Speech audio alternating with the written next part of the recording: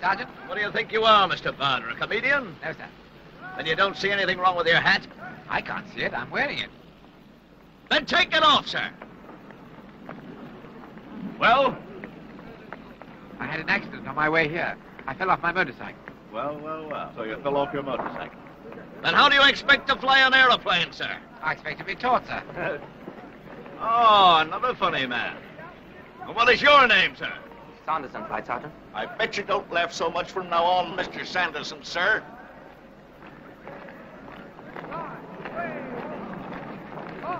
Gentlemen, move to the right in fours. All four.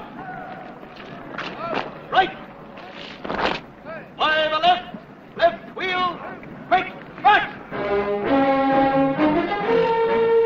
As Douglas Bader marched across the parade ground at Cranwell on that September day in 1928, I marched beside him. Two young men for whom living meant flying.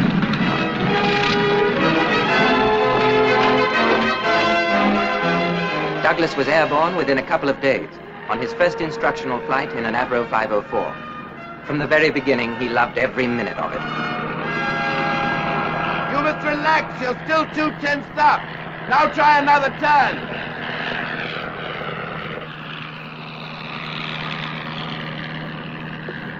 Don't shove it, guide it. Guide it gently. You've got to feel the aeroplane smart of you. That's better. I'm beginning to feel the plane now, sir.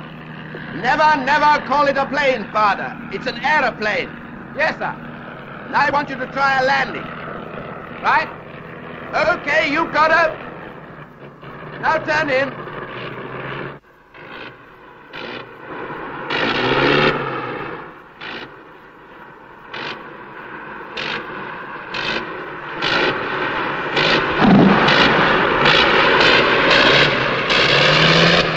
I got her. Perhaps we'll try again tomorrow. You mightn't be valuable to the Air Force, but I am.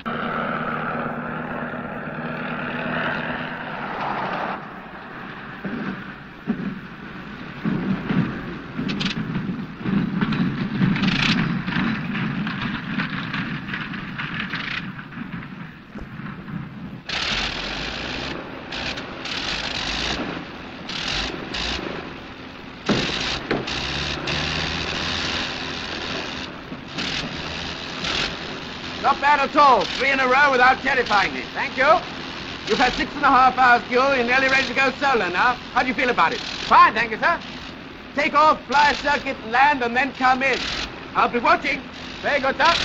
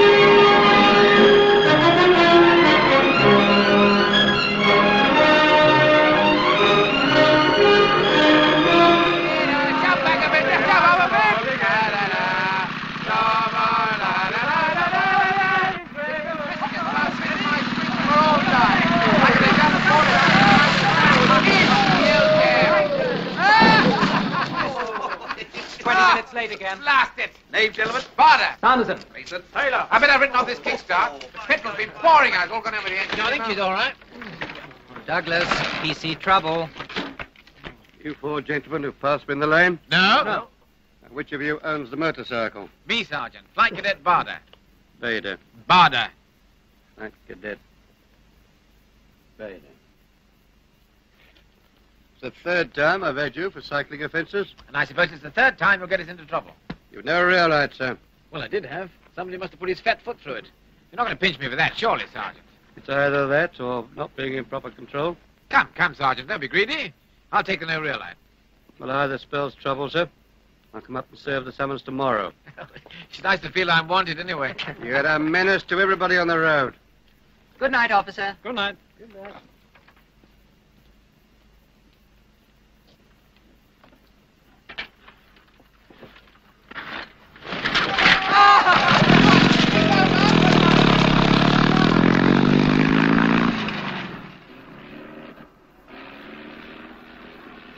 You came here a year ago on a prize cadetship, having passed in six. Since then, you've not only done no work, but you've spent your time breaking rules and apparently regarding authority as a challenge to be defied. Now, this latest escapade. Well, have you anything else to say? Well, sir, I, I think it must be some sort of reaction, sir. I've been working very hard for the exam. Oh. You may be interested in the results of the examination, then. Yes, sir. There were 21 entries and you were 19th. Oh. You've done well in flying and you're good at games. You seem to think that's enough. It isn't. You'd better change considerably or you'll go. We don't want schoolboys in the Royal Air Force, Bader. We want men. That's all.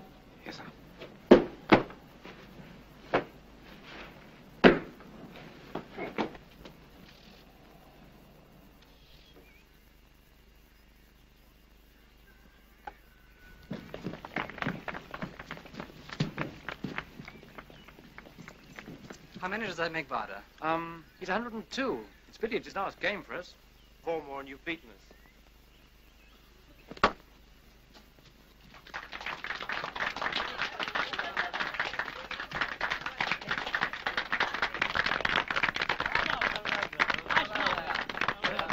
Well done, Douglas. Thanks, John. Listen, the postings are up. What? Are we together? Yes, we're both going to Kenley. 23 Squadron. Uh -huh. Congratulations, Pilot Officer Bader. And the same to you, sir. Well done, Bader. Good innings. Thank you, sir. As you're both going to Kenley, I suppose they're going to keep all the trouble in one squadron. We'll liven things up.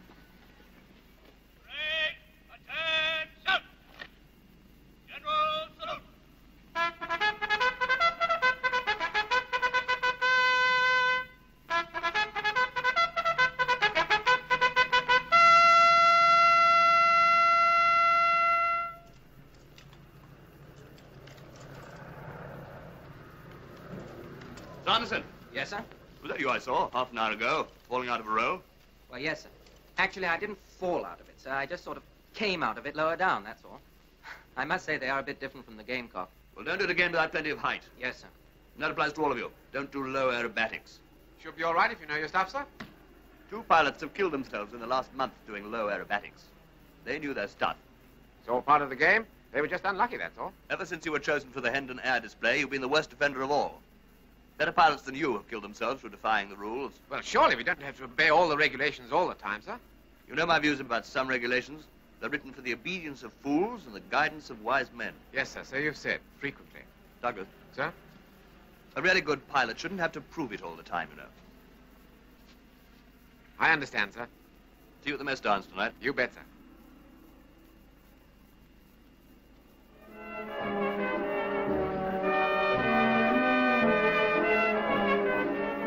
Whenever I see you, you seem to be in a hurry. Why? When have you seen me hurry? Playing rugby for the Harlequins. I say, have I got a fan? well, you are quite a celebrity. Douglas, when you finish making love to Sally, what are you up to on Monday? Making love to Sally, I hope. Richardson and I are flying over to the Reading Aero Club. Care to join up? yep, count me in.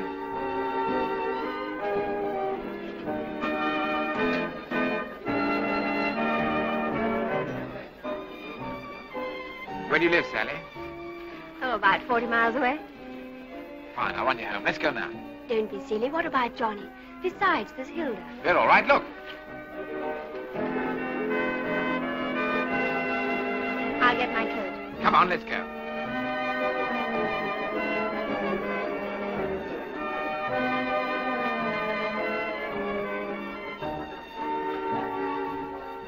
I'll wait here for you. And very nice, too. Oh, hello, sir. Enjoying yourself? yes, rather. Good.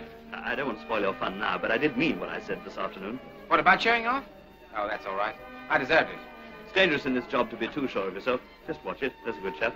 I will, sir. Right. Good night, Douglas. Behave yourself. What does he mean, behave yourself? He's talking about Monday, not tonight. Must be some service boys here. They tell me this is going to be the standard fight of the Air Force. Terrifically fast, I believe. Ah, hello, Jones. Just come in. Just flown in from Heston. By the way, have you met these RAF chaps? Sanderson, I. Richardson, Bader? Yeah. Just been looking at your bulldog. Uh-huh. I saw you playing for inter-services. Rumor has it you'll be in the England team against the Springboks. Well, I may be lucky. Well, well, well. Quite the all-rounder. Rugger, cricket, boxing, Hendon. That was some show you and Dave put on at Hendon. Ricky Day is a great pilot. We ought to be getting along. Thanks again for the tea. Why don't you beat up the field before you go? Not a chance, old boy. They're getting rough with us for low flying these days. Oh, come on, Bader. Give us a show. You heard what Sanderson said. We've been warned off the low stuff by the CO. Oh. Come on, Douglas. We ought to get back. Sorry. These boys only perform when there's a crowd.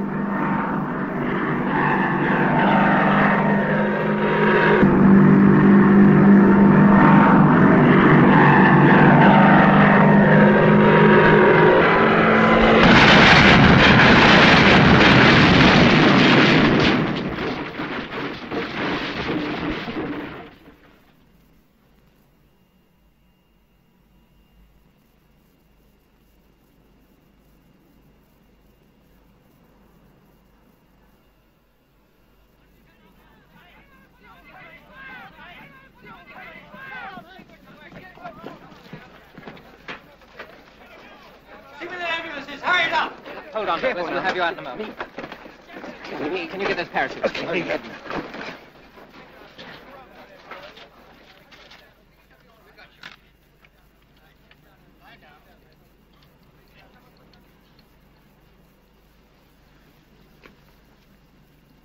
Take it easy, Douglas. They won't be long. Oh, this is damn silly. Let me get up. No, hold on, old boy. Lie still. John, I can't feel my legs.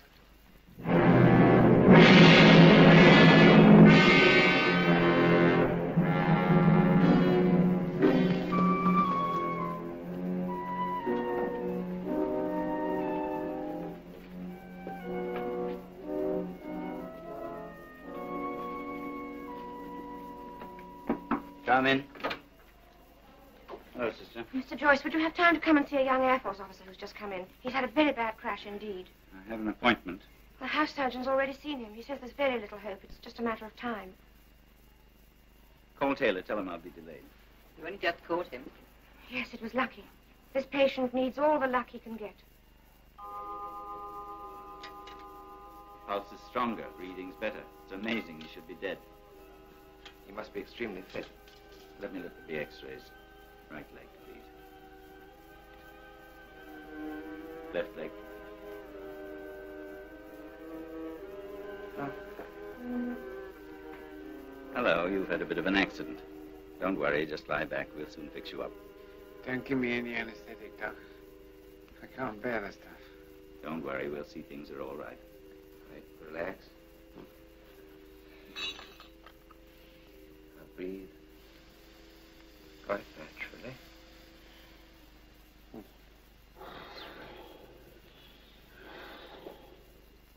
What's the extent of his injury? Right leg's practically severed. Left leg's badly crushed. Two ribs broken, but you know about that. Minor facial injuries. We'll have to work fast. He's lost a great deal of blood. I don't think we've got too much time.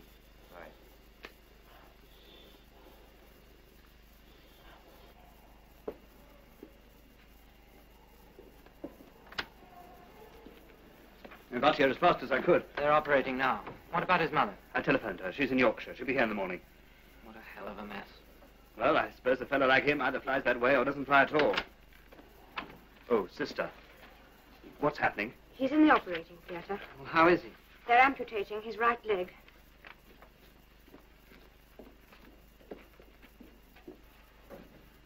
What a hell of a thing to happen to a man like Douglas.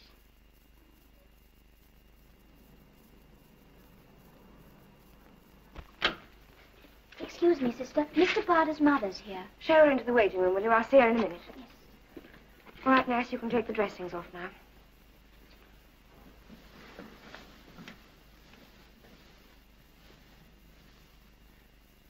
What am I doing here? Oh, you're awake, are you? Of course I'm awake.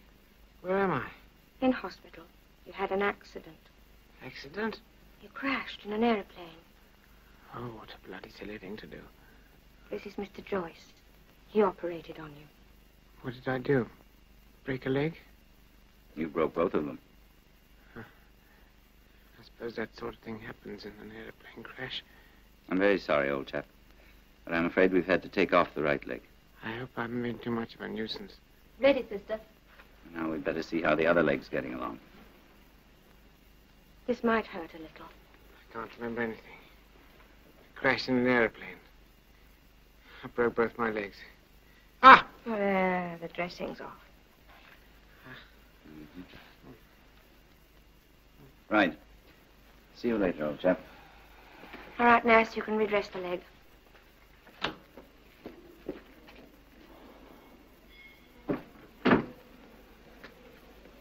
Well, sir? I'd better have a word with the mother, I suppose. She's in here. This is Mr. Joyce, the surgeon. I'm Bader's uncle. This is his mother. How do you do? How do you do? Well, I'm glad to say that your son's come through the first operation very well. The first operation? Yes, he must have another, I'm afraid. The other leg's badly infected. I'm sorry, but I must have your authority to amputate. No. No. But what's the alternative, Mr. Joyce? There is no alternative if he's to live. But he can't lose both legs. Not both. If I operate at once, I think I can save the other below the knee. Couldn't we wait just a little while? Afraid not. It's his only chance, my dear. If you do it, are you sure you'll be able to save him? I can't be sure. He's very ill. But I would like to try.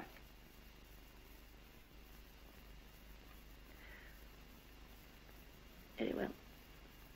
Now, if you'll excuse me. Give him my love. Yes, I will. Mr. Joyce will do everything possible. I'm so afraid that Douglas will hate me forever, but well, I couldn't let him die, could I? Of course not. Knowing the danger, Joyce did the second amputation at top speed, and they wheeled Bader back to his room. Every ten minutes, day and night, they took his pulse. It was there, but only just. Douglas was like a man hanging on the edge of a precipice by his fingertips. The question was, would he have the strength when the anesthetic wore off to face the terrible weight of pain that was going to fall on him? Can't we give him some more morphine? He's had about as much as we dare give him, and it doesn't seem to have any effect. He lay there, fighting, fighting, for two days and two nights. But there was no relief and no defense until his body could stand no more. Then came the morning when the pain had left him. He felt warm and peaceful. He was, in fact, slipping away from life.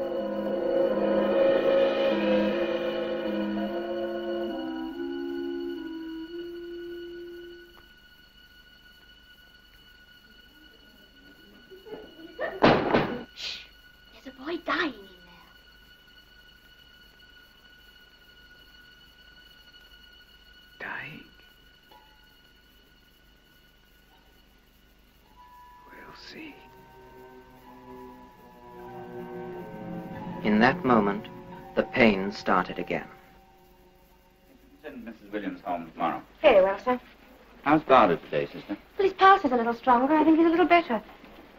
He's still in terrible pain. All right, let's take a look at him. Yes.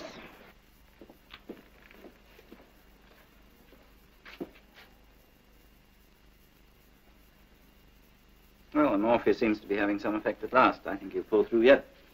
That'll please some of your nurses, sister. I gather they're in quite a state about him. Well, you know what young nurses are, Mr. Joyce. And he's good looking. I'll see they keep their minds on their work. Oh, Well, there's life in the patient yet. How's your pulse rate, sister?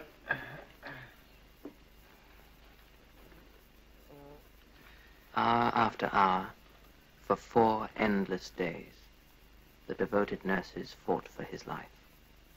And in the end, they won. I came as soon as I could, sir. Yes, thank you. How is he? He's awake, and I think you can see him today. He's made a remarkable recovery. What sort of chap is he? What are his interests in life? Flying and sport.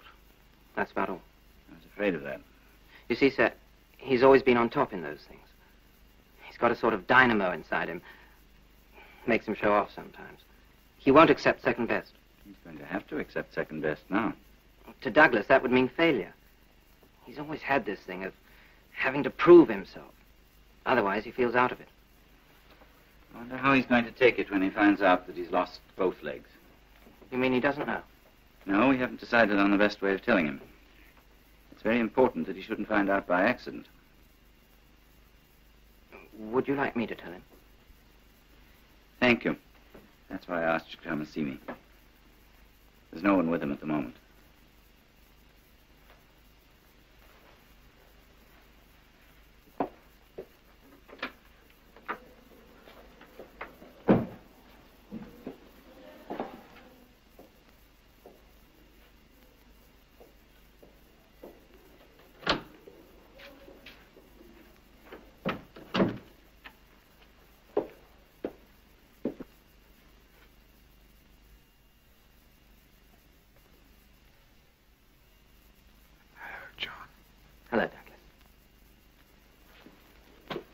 Fine.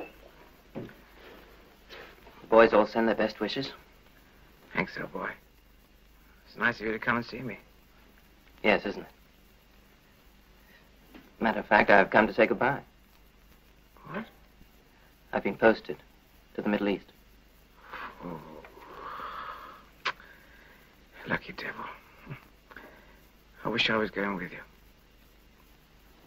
Oh. It's Giving you some trouble. Left one. It hurts like hell. It's bound to hurt at first, I expect. Well, I wish they'd cut it off like they did the right one. That doesn't hurt at all. Would you really like them to cut it off? I don't give a damn what they do as long as they stop it hurting. Matter of fact, Douglas, they have taken it off. Why does it hurt so much then?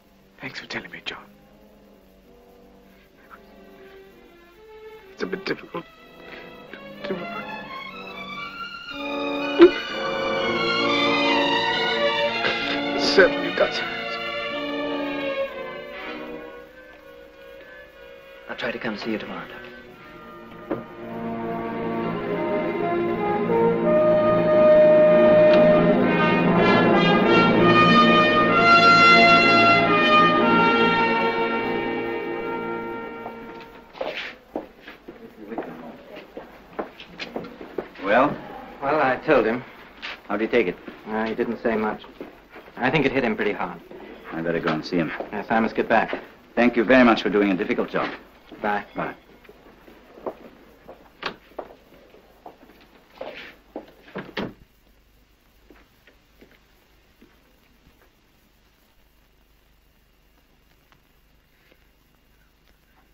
I gather you've done quite a job on me, sir.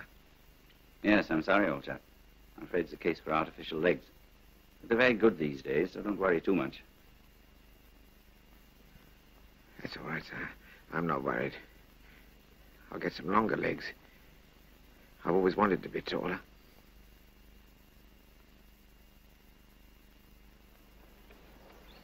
Brace!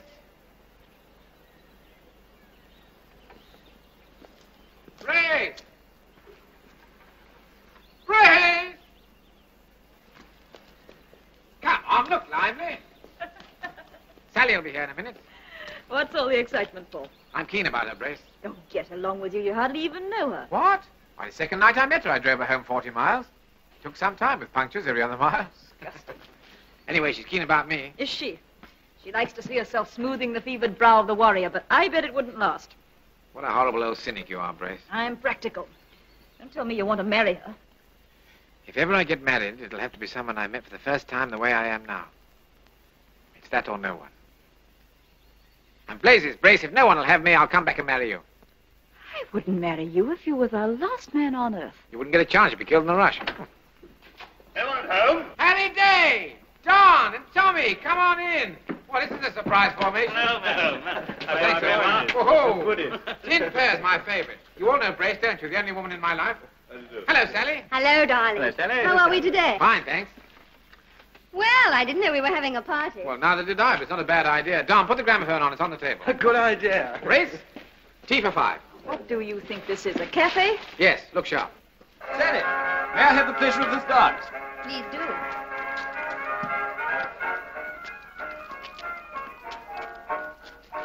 What about waltzing me around the garden, Harry? I haven't had my exercise for the day. All right, I'll push you around.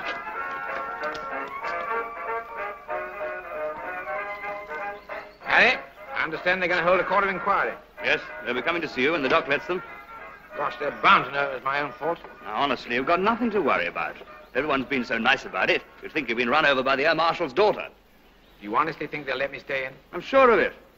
The most they'll do is ground you, probably promote you, give you a staff job. I couldn't stand that, Harry. Tied to an office desk all day. I'd rather die. Now, Douglas. I've got to fly again, old boy. Can't you understand that? I've simply got to. All right, all right. Don't get excited about it. Who says you won't fly? Look at Freddie West. He lost a leg in the last war. I saw him flying solo yesterday at Wittering. You wait till I get my tin legs. I'll show you. Home, James. We'll see.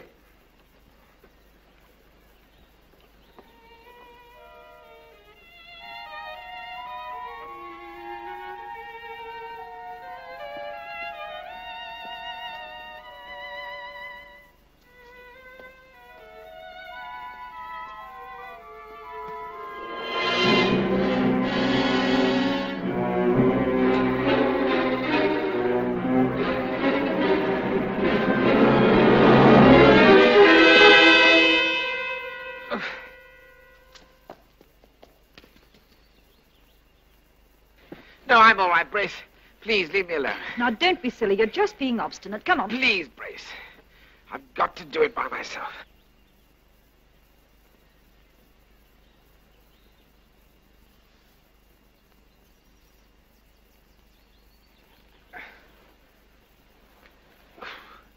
How long have you been fooling about out here by yourself? Only about half an hour. I didn't hurt myself. Really, you are worse than a baby. How many times did you fall down? Oh, I don't know, about half a dozen. It serves you right for being in such a hurry. Well, it's this blasted peg leg place. Hurts like blazes. I'll have a look at it when we get inside. You can't expect it to be perfect in three days, you know. Only you be patient. Now, you're going to be warm enough. The wind is rather cold. I'm all right. I'll put the rug around you. I've got some news for you. I've had all the news I want today, thanks very much. I've heard from Sally. What's the matter? Well, if you must know, Brace, she's walked out on me. What? Well, she doesn't say so, but that's what she means. Her mother's taken her off to South Africa for three months. For a holiday, you mean? Oh, for heaven's sake, Brace, be your age. You know what she means as well as I do. She's not going to have her daughter mixed up with a helpless cripple. Not likely. And she's right. Well, frankly, I think you're a lot better off without her. Thank you. Did you read about Johnson in the paper? Crashed and killed outright, lucky devil. Don't you dare say that. Why not? He is lucky, isn't he? He's dead. I'd rather be dead than left like this. Now, you listen to me. You're alive, and you're going to stay alive. You can see, you can hear, you can talk, and before long, you're going to be able to walk. Do you know something? A lot of people have spent a great deal of time on you. They've worked for you, fought for you, and prayed for you. And all you can say is that you wish you were dead. You ought to be ashamed of yourself.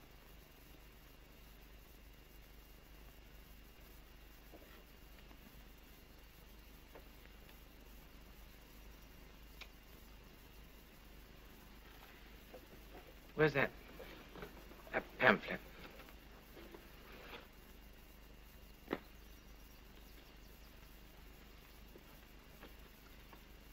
You don't think they're shooting a line, do you, Brace?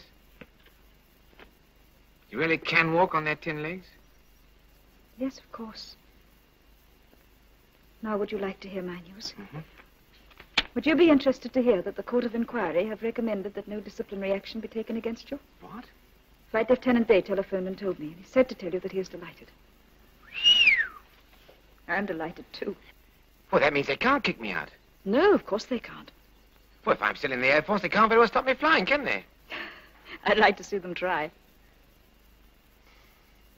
Thanks, Brace. I won't let you down again, I promise. I'll be leaving here soon. I shall miss you. Will you? Come on, Brace. Twice around the garden. I've got work to do. Can't spend my time pushing you around the garden. Oh, never mind your work. Let's go. Mr. Bader will be back in a minute. He's just gone for a walk. For a walk? God, blimey.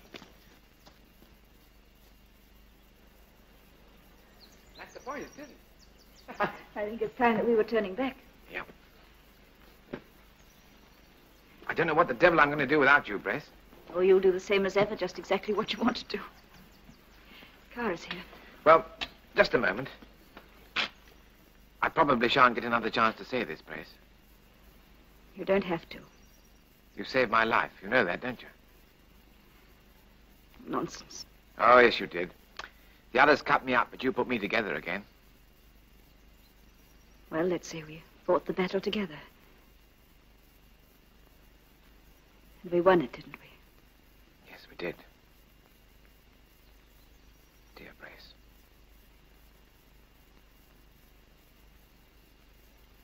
Another patient coming in this afternoon. Your room is in a dreadful state. Another patient? Lucky man.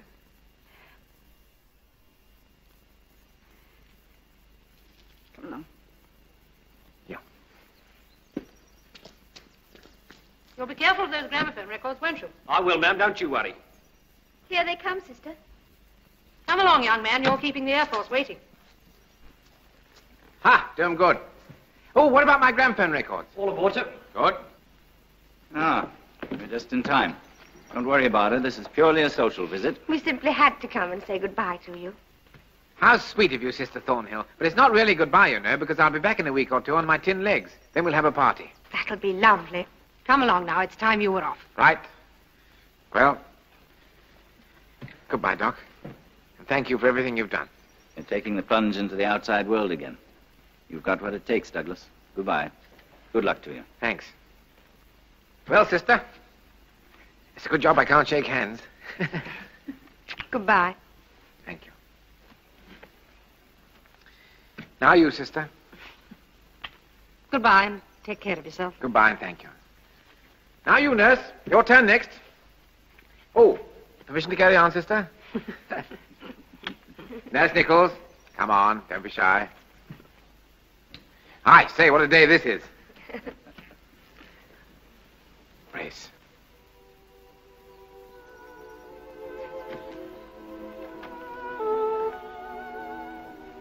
Goodbye, Brace. Good luck.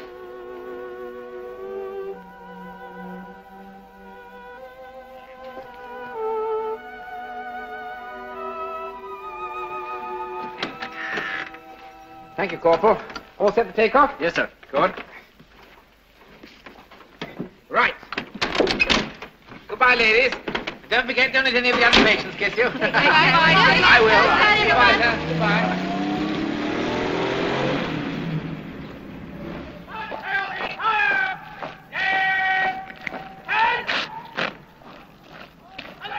No, bust again. That'll be fifty-two thousand pounds in tons. Like a hand, Douglas? What, with you two sharks? Not likely. Well, shut that window, would you? Anybody think we were in the army? How about a spin in your Bentley, Peely? I'm getting a bit bored with this. The three of us put together would make one good driver. Yeah, besides, it's against the regulations. Good, that settles it. We'll go. If you're windy, I'll drive. Gentlemen, you've just found yourselves a chauffeur. Come on. All right, Peely, I've got my arm out. I hope the matron doesn't see us. Well, if she does, we won't have a leg to stand on. You speak for yourself.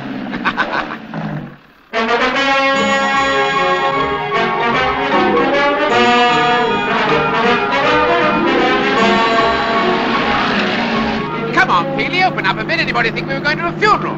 Let me have a go. Ah, now listen. If I'm going to have my arm broken again, I'd rather have a surgeon do it. I can use my peg leg on the clutch and the hand throttle. Pull What up. do you think about it, Vic? Well, a few more broken bones. All right.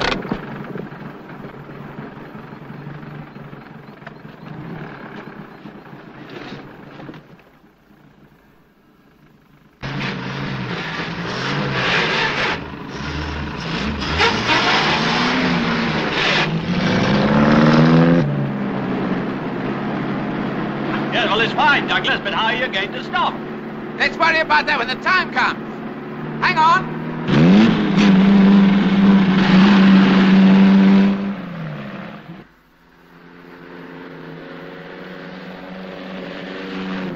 I'm really getting the hang of it now. Yes, but how are you going to stop? Stop? Oh, well, you can't have everything. Look out, Douglas!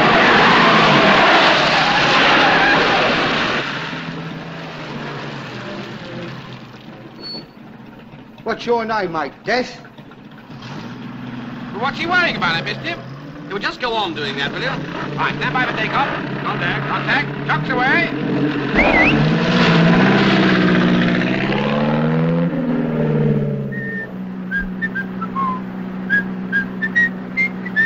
Ah, tea. Well, what do we want tea for? I'm enjoying myself. You may be, but we're not. Yes, come on, pull over.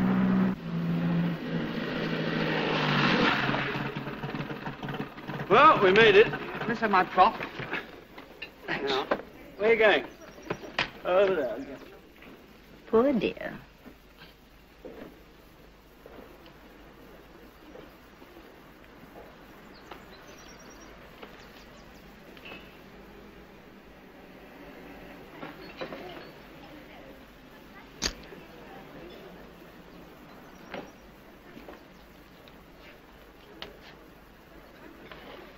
I bet you could do with a cuppa after that death ride. Three teas, please. Cream or plain? Cream. Not a great conversationalist, but very nice. I wonder if there are any more like her. Aye, aye. Hey, what sort of place is this? I thought you were off. No, I'll just serve those three boys over there. Oh, want any help? No, thanks. I can manage. I was a bit worried about Paddy because I knew he'd never done this before. As we rolled off the top, I noticed we were getting a bit too close for comfort. So I waved at Danny, who sheered off smartly. You seem to have crashed. It's a habit of mine. But if you'll take your aeroplane off the table, I'll put this tray down. I'm so sorry. Uh, do you mind if I leave the bill? I'm going off now. No, we'll look after the tray. You know, you ought to do that too. Then we'll both have good luck.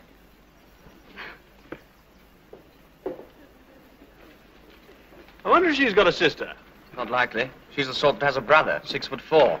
Hey, she's left a pencil. I'll take it to her. Doesn't miss a trick, does he? Swindler. All right, McTee. I'll be back in a sec. Will you be mum? Oh, no, perhaps not. You forgot your pencil. Oh, thank you. It's a pleasure.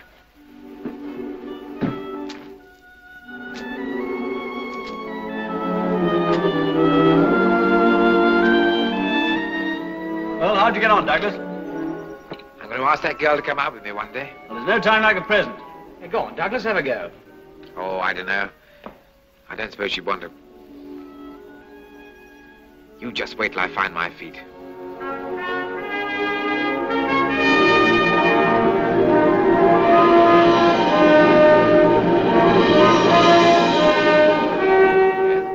Bring Mr. Bader's other leg, will you? Right, sir. I'll oh, just get this foot firmly on the ground. There. Come on, boys, let's get moving. I've got to get him a dance tonight. All right. Well, now let's see you try and stand on this one. Come on, have the crutches, please. Thank you. Feels good. Much better than the peg leg. All right. We'll try a step, shall we? Right, here goes. Yes. You'll have to lift your leg a little higher. Keep your toe clear. Right. How's that? Well done. Now let's have a shot at the right leg. Thank you. Take this. All right, Walker. Better slip it on. Very good, sir. I didn't expect all this harness, Mr. Desoutter. No, don't worry. You'll feel a bit like a parcel to begin with, but remember, your right stump's pretty weak after doing nothing for the past six months. You need all the support you can get. That's it. Let's have those crutches. Never mind the crutches. Try standing without them. All right. Good. Now let's have a go, shall we? Ooh. Good Lord, this is impossible. And that's what they all say the first time. I thought I'd walk out of here tonight. Been running about in a fortnight. Now, look, Mr. Bader, I think you ought to face it. You'll never walk again without a stick. Damn that, I'll never walk with one. My dear chap, no one with your disability has ever walked without one. What's that got to do with it? All right. Let's try a step or two.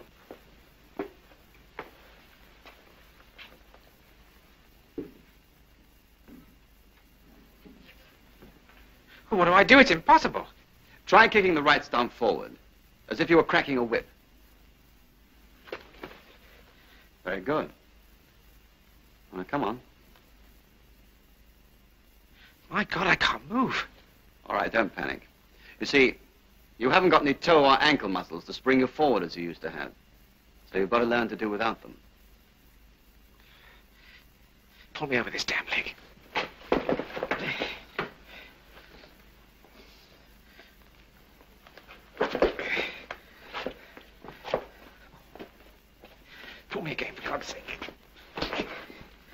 Now let's turn.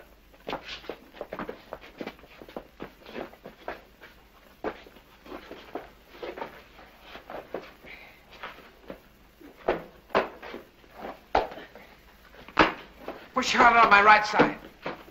Again. Thanks. Better have a rest now, sir.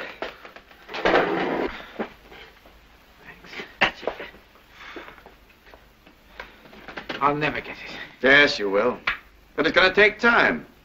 You wait and see what six months will do. Six months? You know, you find a stick very useful. No stick. Not me. Never. Come on, you two. Let's have another go. Try taking shorter steps, sir. It'll be easier.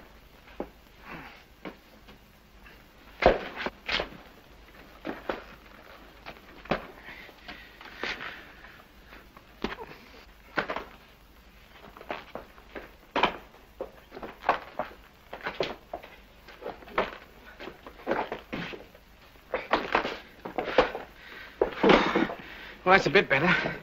The shorter steps seem to be the secret. I think we'll try taking a half an inch off the right leg. That might make it a bit easier. How long will it take? Oh, about half an hour. Hurry it up, will you? I've got to see a girl in a couple of days. I want to be walking on these things then. All right, we'll make it 20 minutes.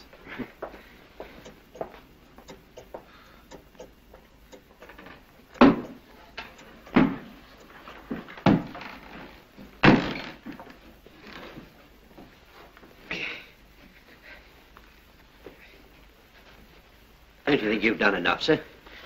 That was a good idea, that half inch off the right leg. Good. Well, that'll do for today. I think you better be getting back. No fear. I'm not going home till I can walk a few steps on my own. All right? If you think you can. Now, let me go. Now, stand back, all of you. I'm going to do this on my own.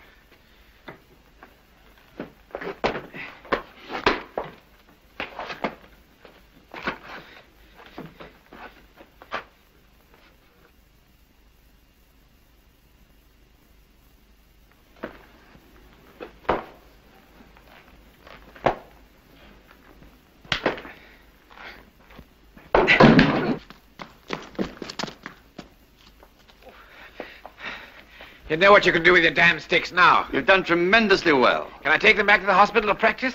Well, I think you better come back here and practice a bit more. But they're expecting me back at Uxbridge on my own two feet. I even bought a clean pair of socks.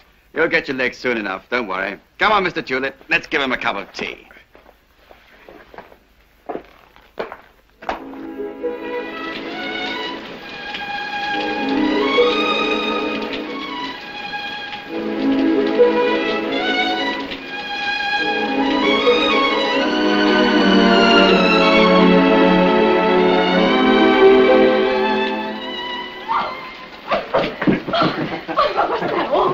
Look, I, I must go. I'm terribly late. All right, I'll see you on Thursday. All right, bye-bye, my dear. Bye-bye. Well, look at you. Yes. Thank you. Bye. Bye.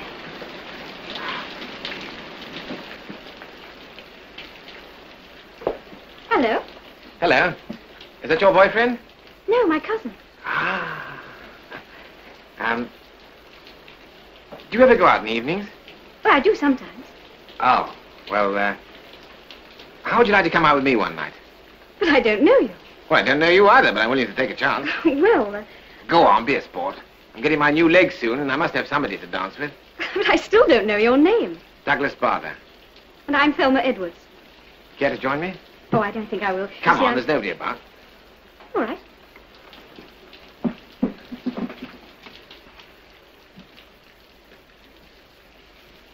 Will you take tea? Thank you. Cream or plain? Oh.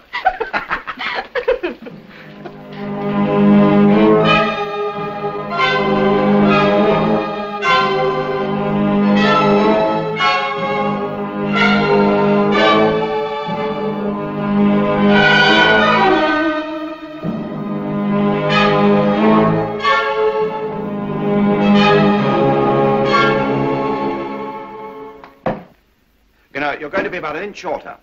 Well, luckily, my new girlfriend's not very big. Well, if you get a change of heart, come back. We'll make you a bit taller.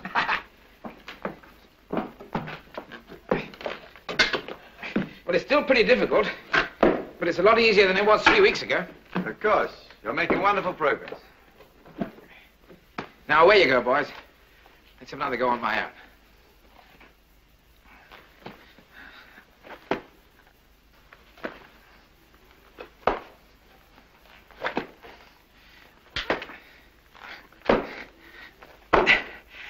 Done it. Why the devil do I turn? That's something you've got to practice, turning. It's the most difficult one of all. Oh, I'll see about that.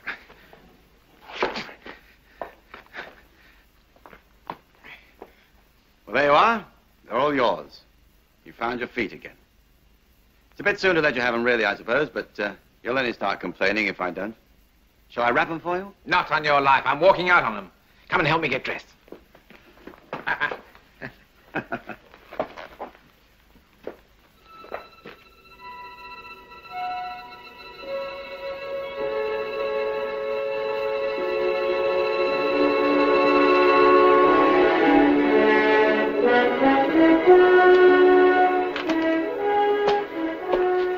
It looks good, it feels good. You look fine. Mr. Walker, you can put that back in the cupboard. Now, what about a stick? Just for the time being. No, thanks. I mean to go on the way I've started. Well, don't expect too much for a while. You've done darn well so far. Thank you for putting up with me. Car's waiting, sir. Right. Goodbye, sir.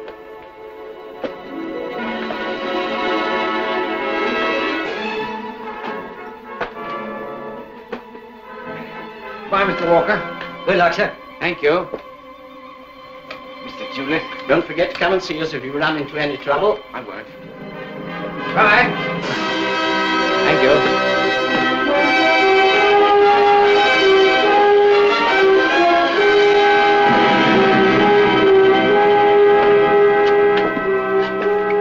Hello, Douglas.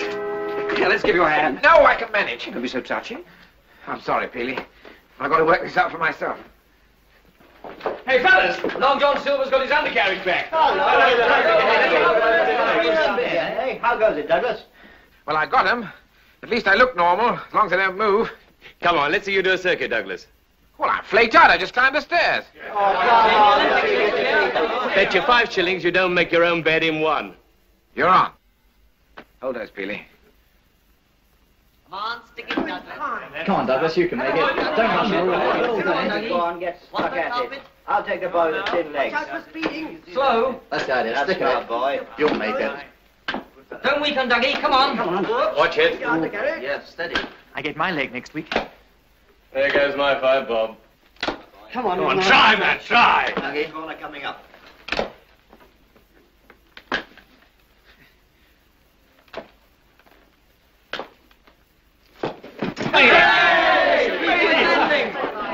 You can go and pick up that five bob.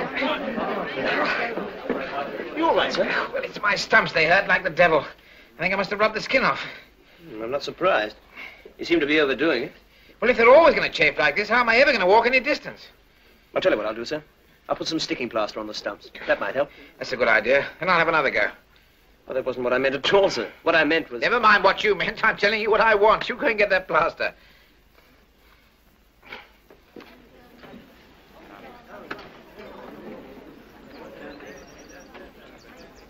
Where's your boyfriend these days? What boyfriend? Nice Air Force boy, the one who had the accident. Oh, him? I hardly know him. I thought you said he asked you out. Oh, that was some time ago. I don't suppose he can get around very much.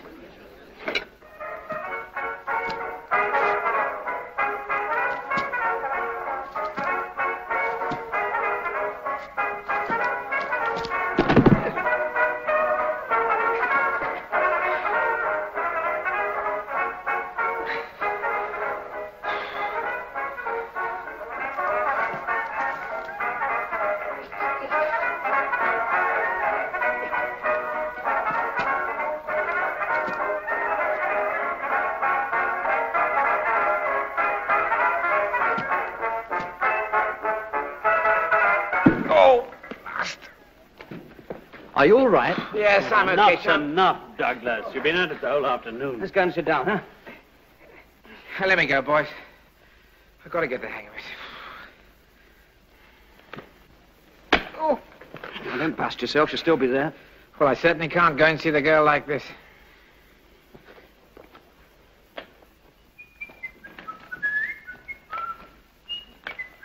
Boys, no hands. Well, is this the big day? It certainly is. Douglas, don't you think you ought to change your socks before you go? It's getting a bit noticeable. Why? I haven't had my shoes off for two weeks. What are you going to do, send your legs to the laundry? Hello, John. What news of the leg? They say it'll be stiff for good. Blast 'em. There you are. What did I tell you? Have it off, old boy. Have it off. ah, here we go.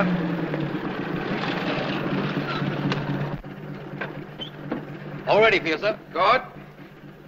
Thank. Now, be careful, Douglas. Remember, they can't fit a tin head on you. Better hang on to the wooden one. Wish me luck. Give him my love. Ha ha! Some chance of that.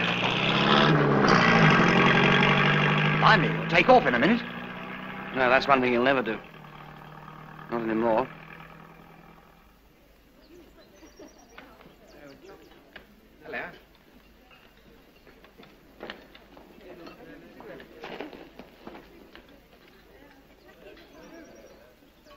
I'll bring it straight away, madam.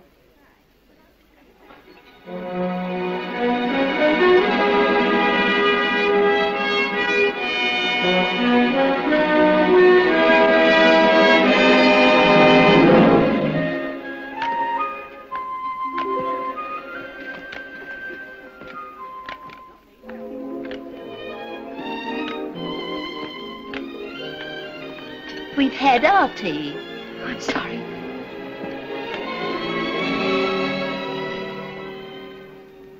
You look wonderful. That's funny. I was just going to say the same about you. Thank you. I know. was a- I know of a wonderful place for dinner. How'd you like to come out and celebrate? Celebrate? Oh, I'd love to. What time do you finish? Six o'clock. I'll pick you up. Thank you. It's all right for you to talk about your dinner. I haven't had my tea yet. She won't be long. Leave a good tip.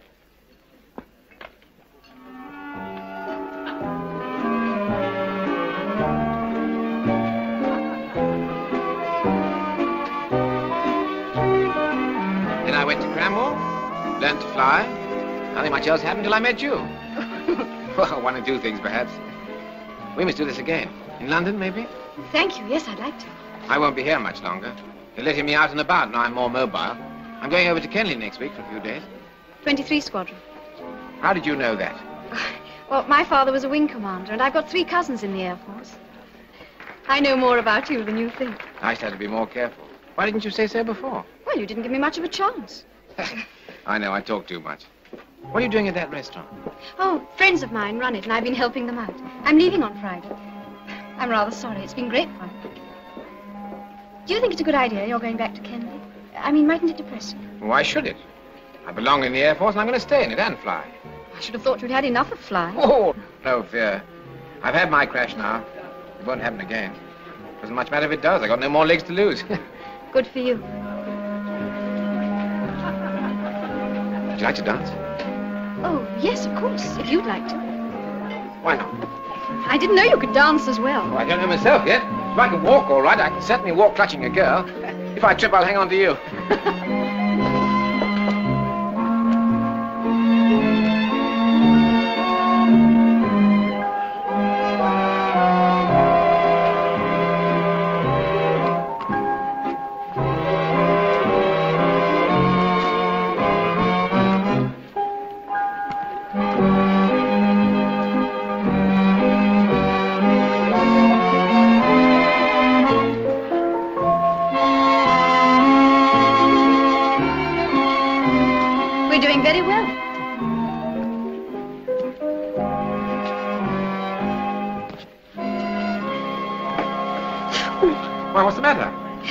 You're on my foot. Oh, I'm sorry. It's all right.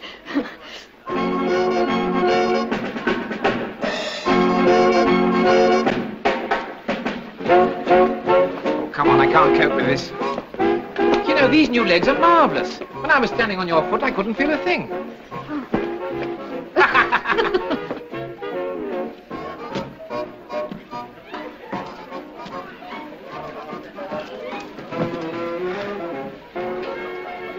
Haven't done that for a long time. I really enjoyed myself this evening. You've been wonderful company. That's just about the nicest thing anybody's ever said to me. Thelma, Wish me lucky, Kenley. It's important, isn't it? Going back. There's nothing more important.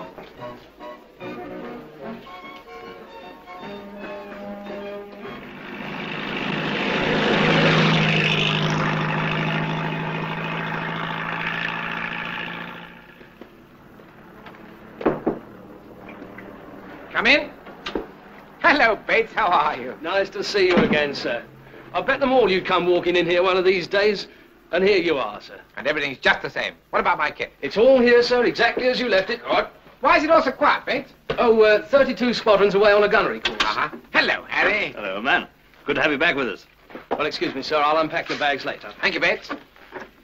Well, take a good look, old boy. The very latest. Knobbly knees, hair, corns, a lot. Splendid.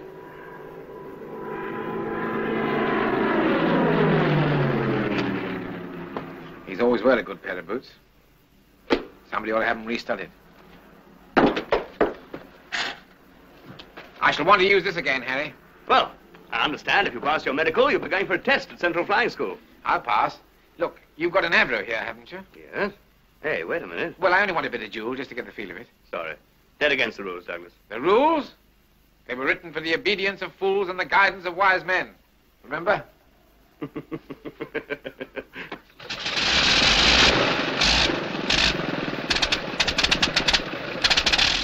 Well, how are you feeling? Fine. All set? All set. Blast. What's the matter? Bit of cramp, I think. Both wrists. Too much office work. you better take her, Douglas. Thanks, Harry. Hang on to your hat.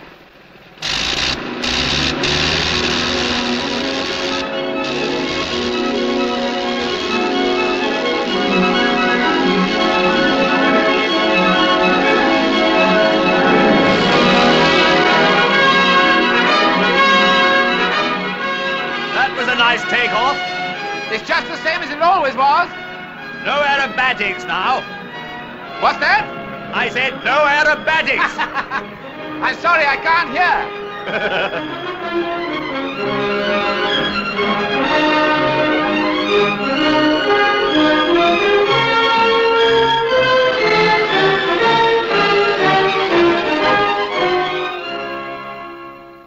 I'm sorry you've had to wait so long, sir. Shouldn't be long now, though. That's all right. It'll be worth waiting for. How did it feel going back to Central Flying School again, sir? I enjoyed it. Have you heard anything about my medical, Mr. Blake? I think the wing commander's got all the reports, sir. Hope they send me back to fly with my old squadron. Flying Officer Bader? Yes? Uh, Wing Commander Hargreaves will see you now. Thank you, sir. Good luck, sir.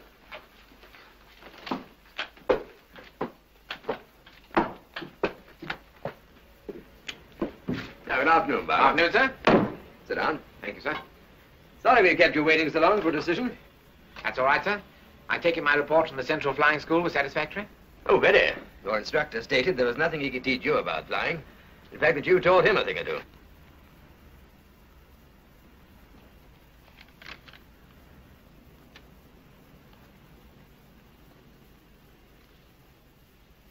Unfortunately, we can't pass you fit for flying because there's nothing in King's regulations which covers your case.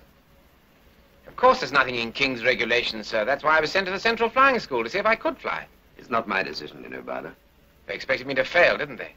I'm really sorry it's turned out like this. You mean I'm grounded for good? I'm afraid so. Oh, but there must be some alternative. Well, you could go on the retired list, leave the Air Force on the grounds of ill health. Sell bootlaces on street corners? Oh, it's not as bad as that. You'd have your retired pay, and no doubt a total disability pension. Yes, that just about says it all.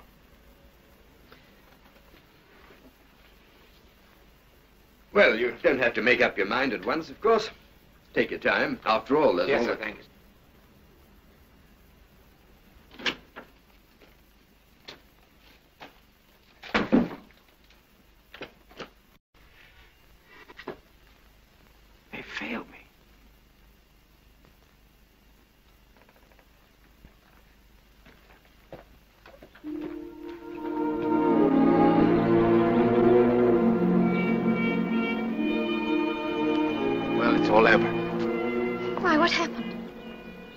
Doesn't say anything about people like me flying. That's all. Does that mean no more flying ever? Yes. Well, you'll still have a career in the service. No, I won't, Thelma. I won't take a ground job. If I can't fly, I'll leave. Well, there are other things besides flying. For instance, Us. I'm not much of a proposition. No money, no job, no legs.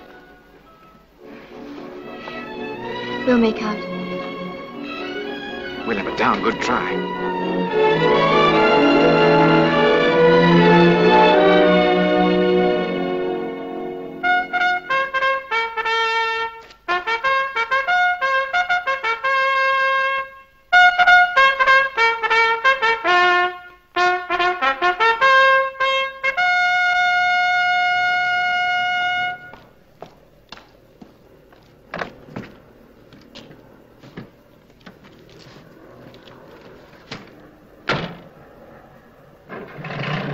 Goodbye, sir. Goodbye, Bates. And good luck, sir. Hope you find the job you're looking for. Yes. Thanks.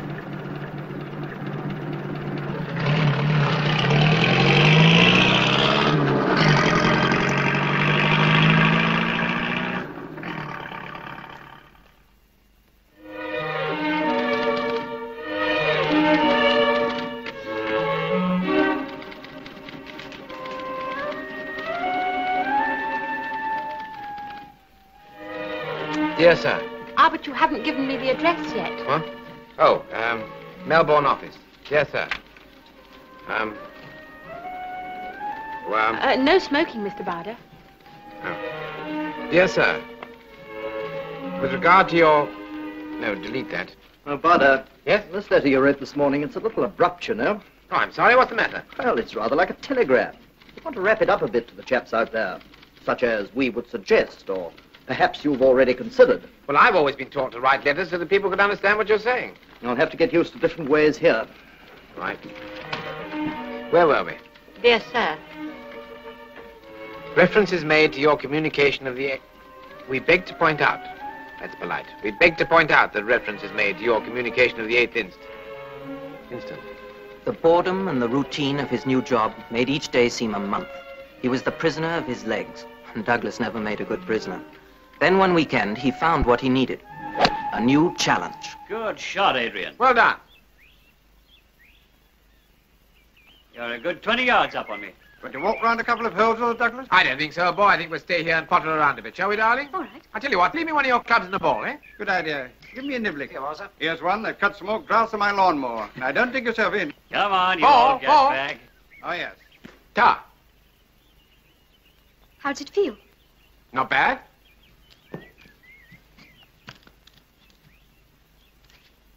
Can't be all that difficult. Oh, do be careful, Douglas. Now then, let's see about this. Oh, Douglas. Well, I kept my head down anyway. All right, darling, don't worry. I didn't hurt myself. Well, the going's pretty soft anyway. All right, stand back a bit.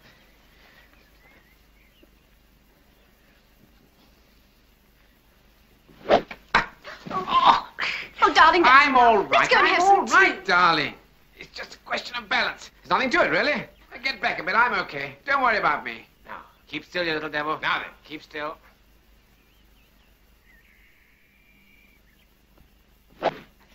Ah! I moved it. Did You see that, darling? Only about five yards, but I moved it. Well done, darling. Fetch it for me, will you? Now then, let's have another go. Pop it down there. Now stand back. Bit more. Now tee it up a bit. You're allowed to on the tees anyway. Back a bit. Now then.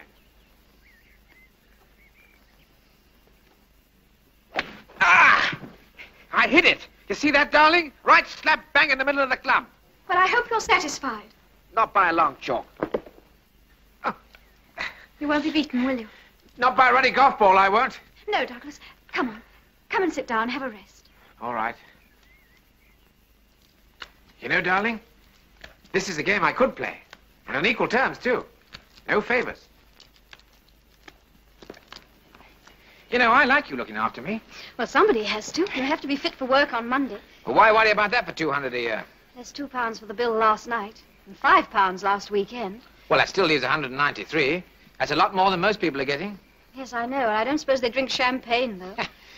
The trouble with you is you've got a conscience. yes, I'm afraid I have. I'm sorry. Oh, I don't mind. I wouldn't change you. You know, Thelma, I suppose you and I ought to think about getting married. Now, that's what I like about you, Douglas. You're so intense, so passionate. Well, I'm sorry, but uh, what else does one say?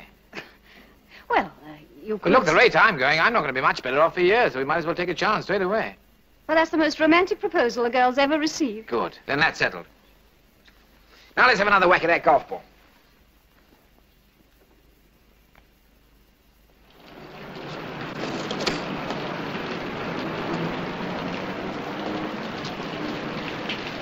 Sorry, darling. No crossed swords. No guard of honor. It was all so quick, I hardly feel married. Never mind. We'll have it done properly in church one day. I'm happy, just as it is. You never thought I'd settle down, did you? Are you really a pipe and fireside man now? Yes, bung on the old slippers. It's me for the quiet life.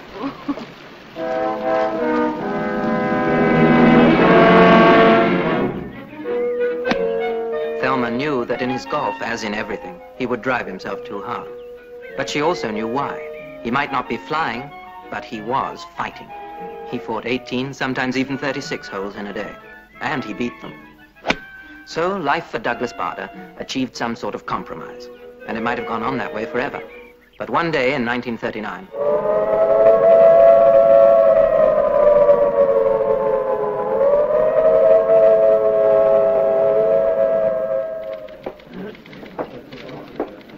Aha! Dead on time. You must be keen. Come along, I'll take you around right away. Did you have any trouble? No, he said he'd be absolutely delighted to see you again. Well, I must say it's a bit of luck, Johnny. Did you put in a good word for me? Of course. Didn't see why I should, though. You know, we're short of airplanes. So what? Well, as I remember, you were rather careless with them once. Ah, but I've changed. So have the airplanes. you remember Bader, sir? Remember you? I nearly kicked you both out of Cranwell once. Good luck, Douglas. Hello, sir. Nice to see you again. It was good of you to see me again so promptly. Oh, not at all. I'm always very interested in my old boys. I gather from Sanderson that you want a job. Well, what sort of job would you like? Oh, flying, of course. Oh. Oh, I'm very sorry, but I, I'm only dealing with ground Oh, jobs. well, that's, that's, that's no good to me, sir. I'm, I'm a trained pilot. Yes, but in the circumstances, Bob. Look, sir, it, it, it's difficult for me to explain this, but I've got to get back again. I've simply got to. And you're the only one who can help me. I must fly. I beg your pardon, sir, but I've got to fly again. I tell you what I'll do, Bader. I'll give you a note to take across to the medical people. Excuse me, please. Thank you. Mr. Blake? Hello, sir. I thought you'd be alone. What is it this time? Same again, but they'll pass me now. No, not for flying, I'm afraid, sir. Never. We'll see about that. Well, take a seat, sir, and we'll get you through the doctors as soon as we can. Thank you. You're wasting your time, I'm afraid, sir. They'll never let you fly. How have you been keeping? Well, we've given you a pretty thorough examination. You seem to be 100% fit. Apart from your legs. Well, it's not fair to drag them in, sir. Oh, why not? Well, they, they simply don't exist. It's like saying a man's 100% fit apart from a cold when he hasn't got a cold. Or the flying officer's 100% sane when he hasn't got a brain. Yes, sir. The legs can't be ignored just like that, you know.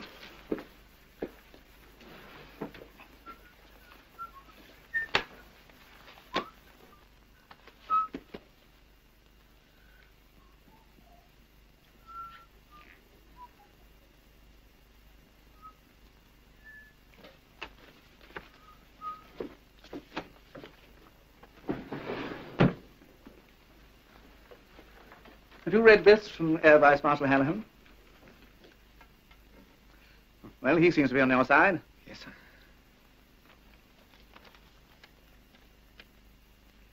Let's leave it to the Central Flying School to assess your flying capabilities. And if I pass again? If you pass, I think you can shake the moths out of your old uniform. Thank you very much, sir.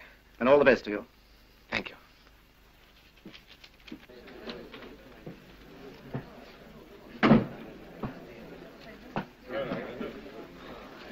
Excuse me. Mr. Blake? Sir? Where can I buy a Spitfire?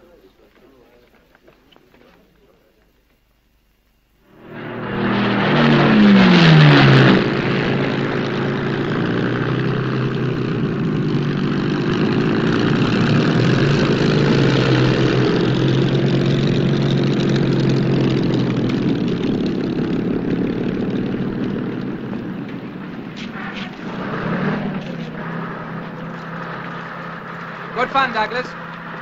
As for that idea of yours, the attack formation, well, I see your point. I knew you would.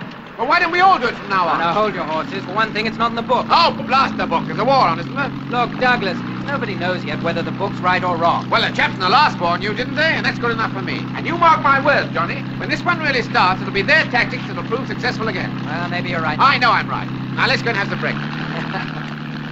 Anyway, you'll soon be able to try out some of those theories of yours. What do you mean? Tubby Mermagen wants you as a flight commander. I know, but what about the AOC? He's agreed. What?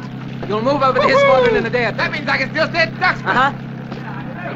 Hello, what's got into the boy? Hey, Paddy, what's happening? It's on, sir. What's on? The war. Jerry's on the move. He's invaded France and the Low Countries. Good. Now we can really get at it.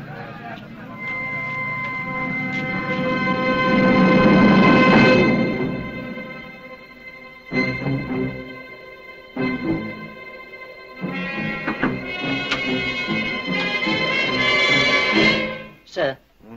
Sir. Hmm? Th- there's a flap on, sir. Squadron's taking off at four. Right, but you What time is it? Three o'clock, sir. Right.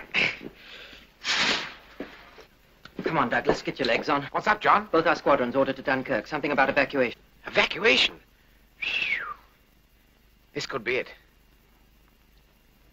Good luck, Douglas. Good luck, chum. Send in a cup of tea. Right. Enemy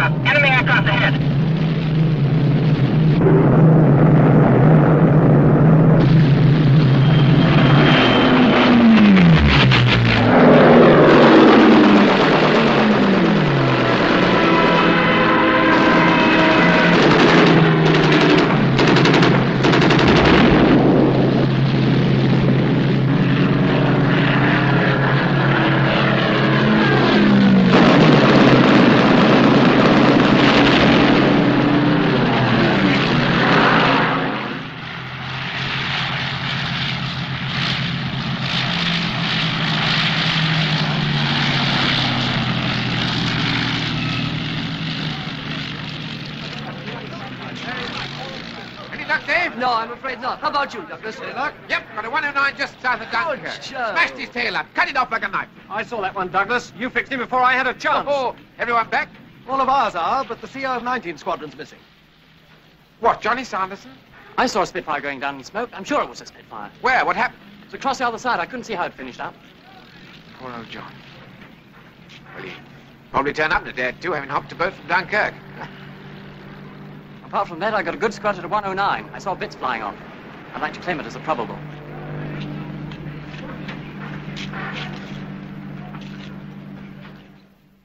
I've been hearing of your work as a flight commander with W. Mermagen, so I'm giving you a squadron. 242. Yes, sir. Thank you, sir. You don't seem very pleased about it. What's the matter? Well, sir, I broke a Spitfire last night. I overshot the landing. You won't have heard about it yet. Well, you're lucky. Your new squadron has Hurricanes. Now listen to me. Your pilots are mostly Canadians, and they've had a very rough time in France. They're a bit fed up, especially with authority. They want good leadership. I think you might be the man. I understand, sir. I'll do my best. Well, good luck in your first command. We shall soon need every fighter squadron we've got. The Luftwaffe seems to be gathering across the channel.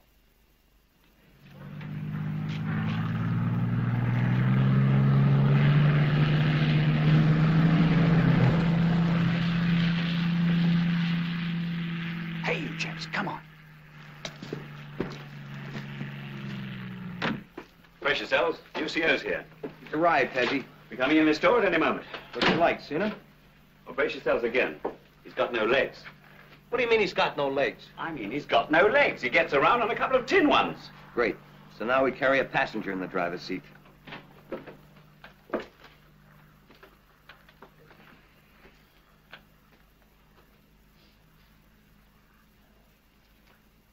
Charge here? Who's the senior man? Isn't anyone in charge? I guess I am. What's your name? Turner. Turner, what?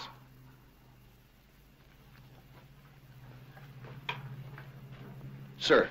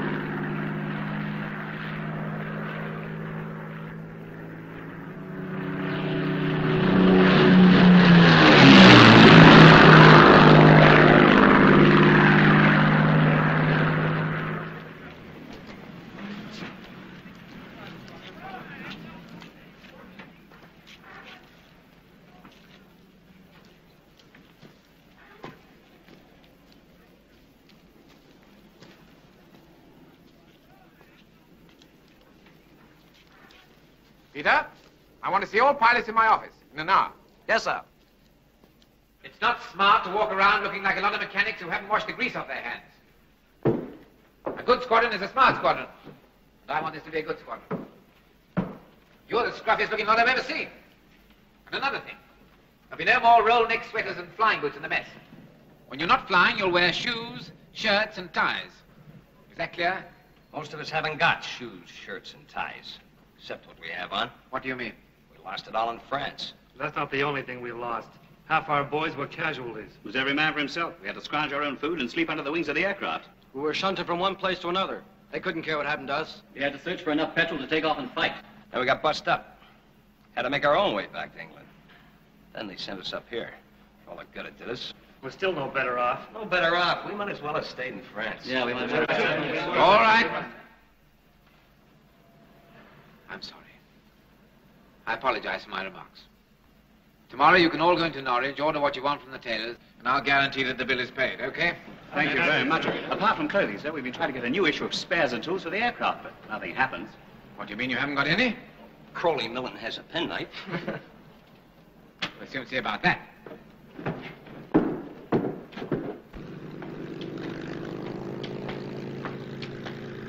Mr. West. Sir?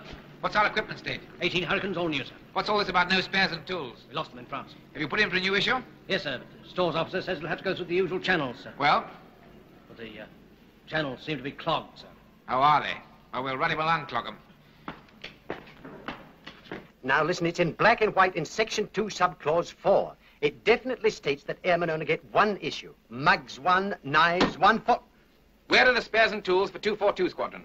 I'm very sorry, I can't produce everything on demand. It takes time. What's the holdup? If you knew the amount of paperwork involved for a Hold start... your blazes with your paperwork and your forms and your blasted toilet paper. I want that stuff and I want it fast. I'm sorry, the book says I must wait three months before I can initiate the procedure for hastening new issue. Fine, we'll send Goering a telegram and ask him not to come over for three months. Listen, sir! I want those spares and tools and I want them quick. Thomas? Sir? Been working all night? Yes, sir. Had your breakfast? Yes, thank you, sir. Good show.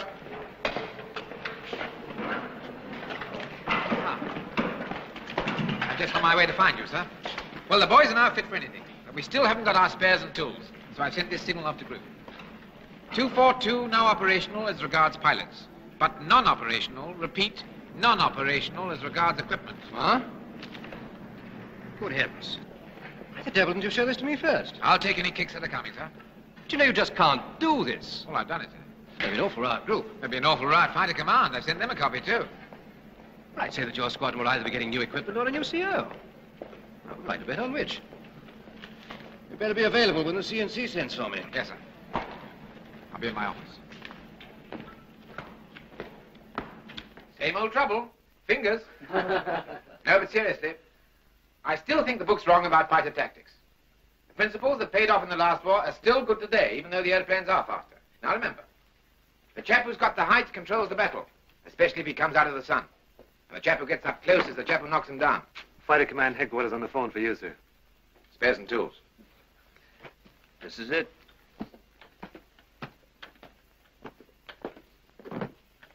Bader? Squadron Leader Edwards here. What's the meaning of this extraordinary signal you sent today? Well, it means exactly what it says. This squadron is out of action until I get some tools.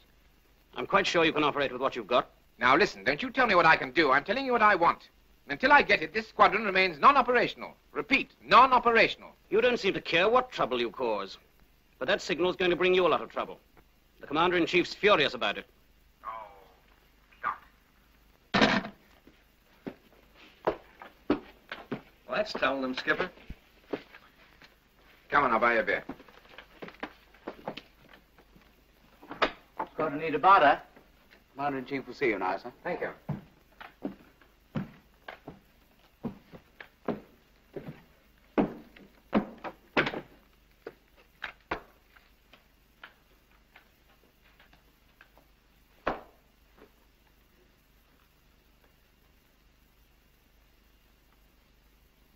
What is all this about equipment? And that signal of yours, Bader?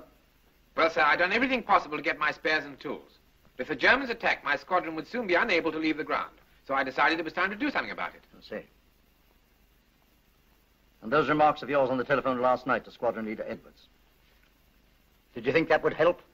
That was a bit of an argument between two officers of equal rank, sir. He tried to shake me by saying you'd be furious about my signal. That annoyed me. He said I was furious. I will not have any officer taking my name in vain or predicting my emotions. I'll talk to Squadron Leader Edwards later. Very good, sir. Now, the sending of that signal was highly irregular, Bader. You must not short-circuit the usual channels. No, sir. What exactly do you want?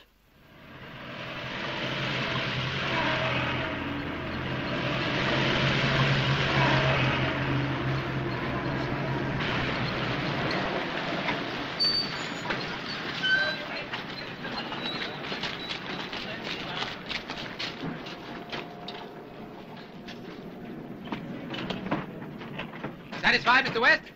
I've got enough stuff to service all the planes in fighter command, sir. Never, never call it a plane. It's an aeroplane, Mr. West. I'm sorry, sir, airplane. Good. Peter, get a signal off to group, copy to fighter command. Yes, sir. 242 squadron, fully operational. Turn Turner? Sir. Tell the flight commanders to round up the boys. Squadron take off 30 minutes, battle practice. Sir.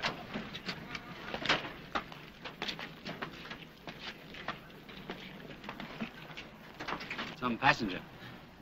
Legs or no legs, I've never seen such a mobile fireball. Come on, girl. Do you know the Muffin Man? Do you know the Muffin Man? Living in Drury Lane. Yes, I know.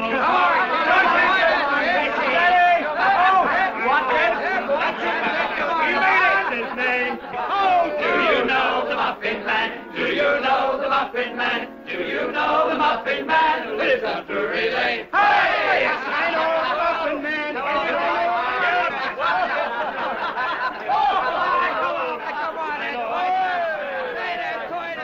Well, what do you think of them? You seem to have your wild young men eating out of your hand now. At least they're not biting it anymore. They're a good bunch. They're coming along very nicely. You're longing for some more fighting, aren't you? Hey, fellas, shut up a minute. Listen. Shut up. The battle of Britain is about to begin. Upon this battle depends the survival of Christian civilization. The whole fury and might of the enemy must very soon be turned on us. Hitler knows that he will have to break us in this island or lose the war. If we can stand up to him, all Europe may be freed. But if we fail, then the whole world, including the United States, including all that we have known and cared for, will sink into the abyss of a new dark age. Let us therefore brace ourselves to our duty. And so bear ourselves that if the British Empire and its commonwealths last for a thousand years, men will still say, this was their finest hour.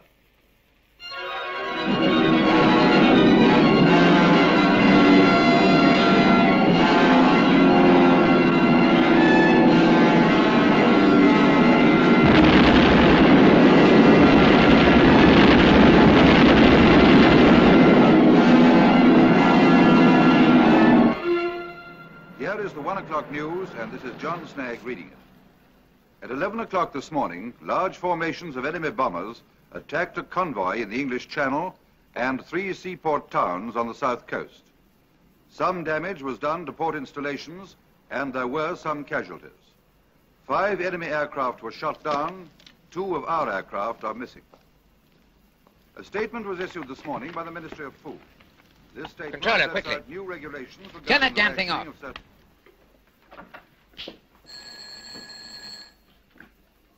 Woodhall? Hello, Woody. Douglas Bader here. We just heard the news. What's happening? Has the balloon gone up? No, we think so, Douglas. It looks like it. Well, what are we waiting for? We're all on readiness. When do we go? Now, hold your horses. We're all covering the Midlands up here. I can't bring you chaps in until they come into our area. Oh, for Pete's sake, Woody. They want every fighter they can get in this house. Yes, and as soon as we all get them down there, Jerry will switch his attack to the Midlands. Well, what are we supposed to do? Sit on our tails and do nothing? Will you take it easy? The war isn't going to finish overnight.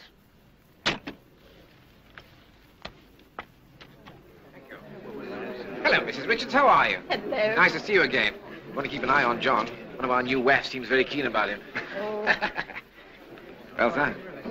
Seems to have started. Yes, it certainly does. He didn't call off the party. It might be the last one we'll have for some time. I agree with you, sir. Excuse me. Excuse me. Hmm, certainly. Come on, Dickie boy. Cheer up. Why so gloomy? Stand. Keep an eye on him. Find a large gin. Well, darling. Oh, darling, I didn't know if you'd be here. Johnny Sanderson's mother rang today. He's safe. Ah. He's a prisoner. I knew it. Thank God. Poor old John. Well, it won't be long before he escapes. I beg your pardon. Come on in. Thank you, sir. Squadron leader Barlow, sir? Yes? We're posted you, sir. My, my name's Jones. How do you do? How do you do, sir? This is Private Officer Nicholson, sir. How do you do, Nicholson? How do you do, sir? Stan, two more for us. Jones and Nicholson. Go on in, boys. Get him a drink. I'll see you later. Come on, I'll buy you a drink. Thank Oh, sorry. Jones, Nicholson. Douglas, they look so young. They'll be all right. I'll look after them. But who'll look after you? You're not immortal, you know. Tell them about her. I've an engine in front of me, armor plate behind, and tin legs underneath. How the devil can they get me?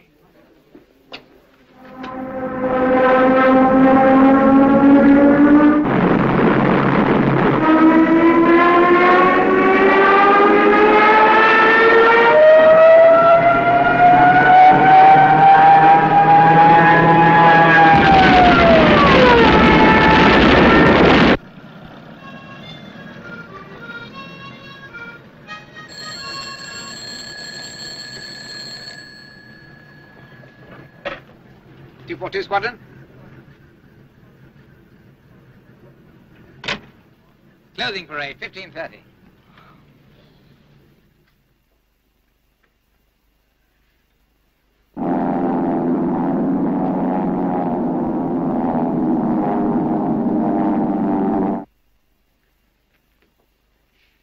Uh-huh. There it comes. They'll be asking for reinforcements down south any moment.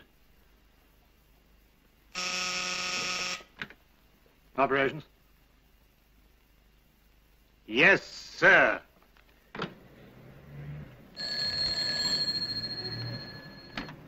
Two four two. Squadron scramble!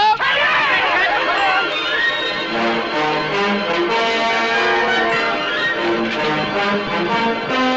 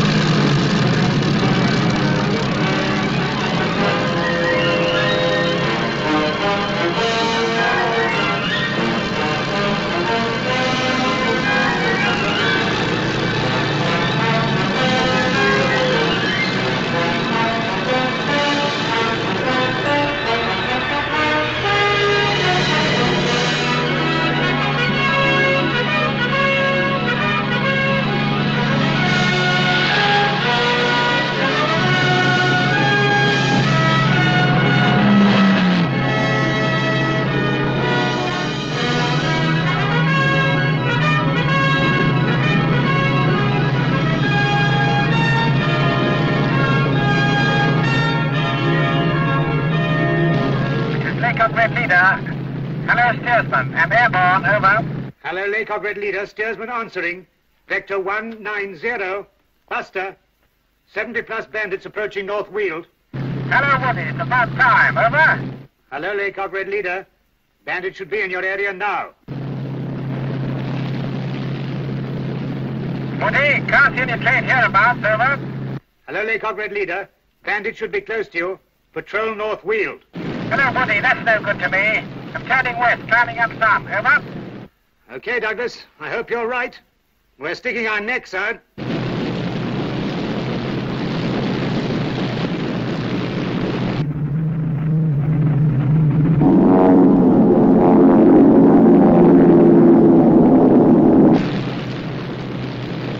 Enemy aircraft, 10 o'clock level, green section, take on the top lot.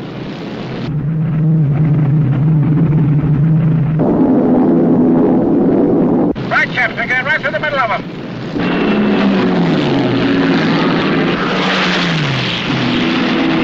Achtung, da.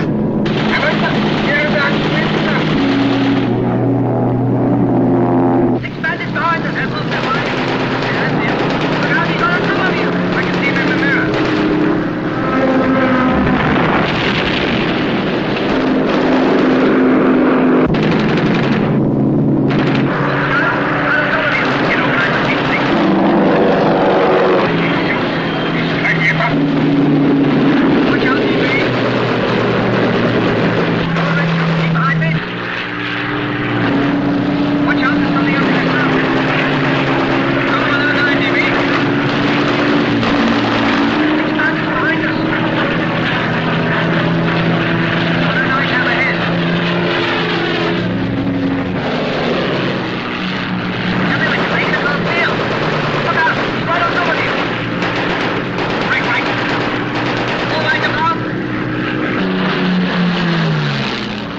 Look out, Carl. There's one at your tail. Break right, break right.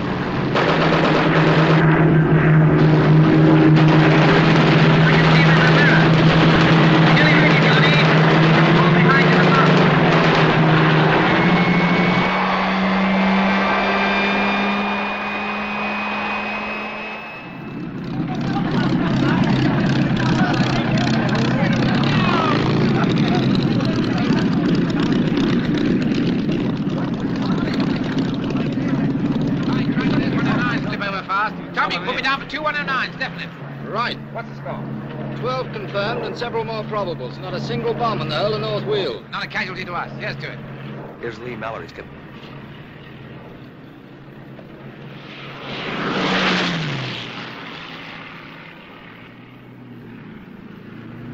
That was a good show, Bader. Well done. Thank you, sir.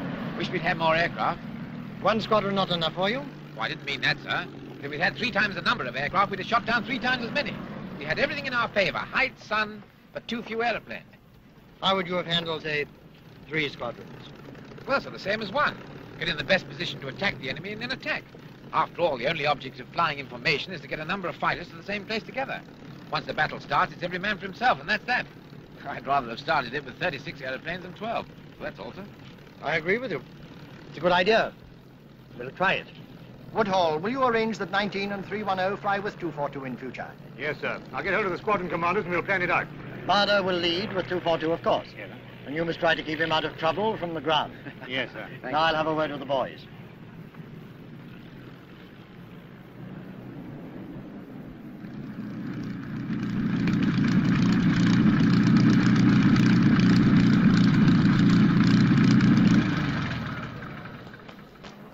Mr. West, I've collected a few bullet holes. The instruments are smashed and the cockpit's full of glycol.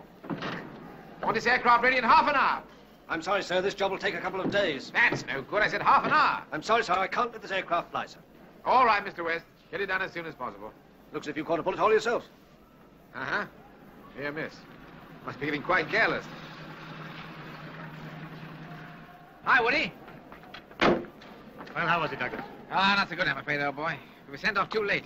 I had to attack on the climb, and of course we got bounced by the enemy 109s. It certainly looks as though somebody advanced you. Oh, oh, you'll see the other fella.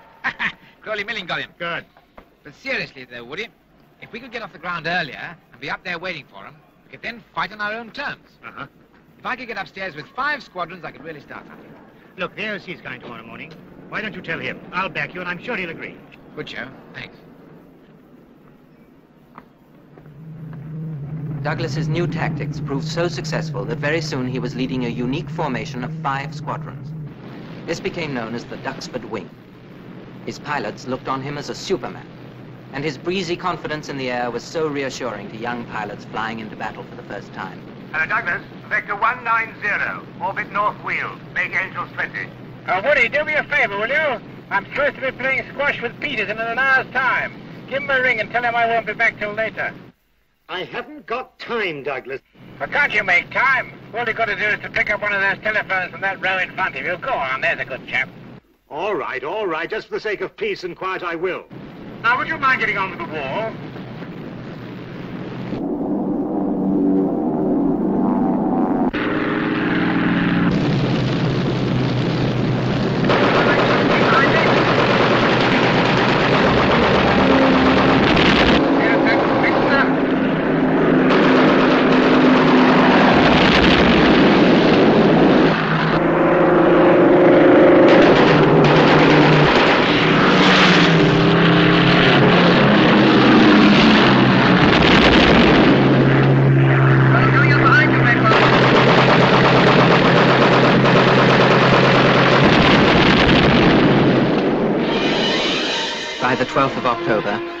Had postponed his invasion until the following spring. Hitler, the invincible, had suffered his first defeat. The Battle of Britain was over.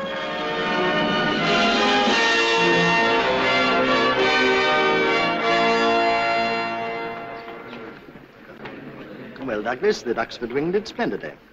What was it, 150 enemy aircraft? 152, sir. Thank you. Oh, thank you, Turner. You're welcome, sir. How would you like to be a wing commander, Douglas? Well, if I can continue flying, I'd like it very much, sir. Good. We're working on some ideas to carry the fight across to France this summer. And we're going to build more fighter wings like your team. Would I stay here, sir? No, you go to Tangmere. With my squadron? No, you'd have three Spitfire squadrons there. Hey, sir, you can't post our CO. Why? Because we won't work for anybody else if you do. Turner, stop poking the AOC with your pipe. Oh, sorry, sir. Let me get you another drink, sir. Oh, uh, thank you, Douglas. You know, sir, if I can't take my squadron with me, I, I'm not so sure I want to go. You'll do as you're told. Very good, sir.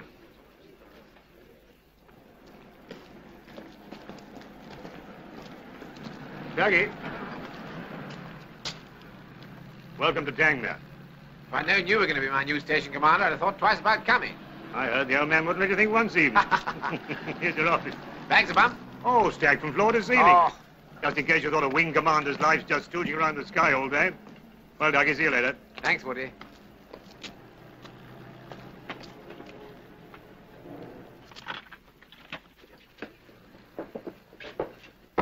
Hello, hello, hello. What's all this? Three bus drivers waiting to sign on, sir. I asked for you three. I must want my head examined. Come in. Well, Sergeant, who are you? Uh, Sergeant Williams, sir. What's your job? Orderly room, sir. What are these? A files for your attention, sir. I see. Now they've had it. Anything else? No, sir. Good. Let's get on with the war, shall we, gentlemen? What's the gents, Skipper? Looks like a sweep of the room. Marshalling yards. Bombers with fighter escort. No, I'm sorry. You must have the wrong number. Hello. Oh, darling. Oh. oh. It was so late. I've got some coffee for you. Come and sit down. Thank you. I lost three pilots today. All first-class chaps. If only I could... I don't know. Look, don't start blaming yourself again. You can't do any more than you do. You've already done more sweeps than anyone else in fighter command. Darling, you know this can't go on indefinitely. Who says it can't? The AOC, for one. Woody was talking to him this morning. He thinks you should have a spell off operations. Why? I'm quite fit. I'd rather like to finish the season. You make it all sound like a cricket match. Why can't you have a rest? Because Thelma, the wing needs me. And if you're killed, the wing will have to do without you. Look, darling, let's go to Scotland for a fortnight's golf. We'll do a tour of all the courses. No. They're lovely courses, Douglas. The best turf in the world. By the sea. You'll find them far more difficult than the English ones. I'll think about it. No. This time you're going to do something about it. Twice a day I know you're 30,000 feet over France, and you probably won't all be coming back. And one day I know it's going to be you. But I'd just like a week off, too. Just a few days of knowing that you're going to be home for dinner. It would help you, too. All right, I'll go. When, Douglas? Next week? Promise? Yes. Touch wood. Oh, darling, it's, it's not that I'm selfish, but a dead hero is no good to the Air Force either.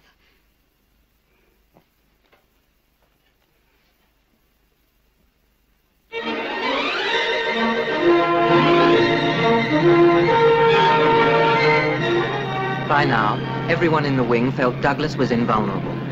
It was as if his presence shielded those who flew with him. The whole station came to believe that the enemy would never get him.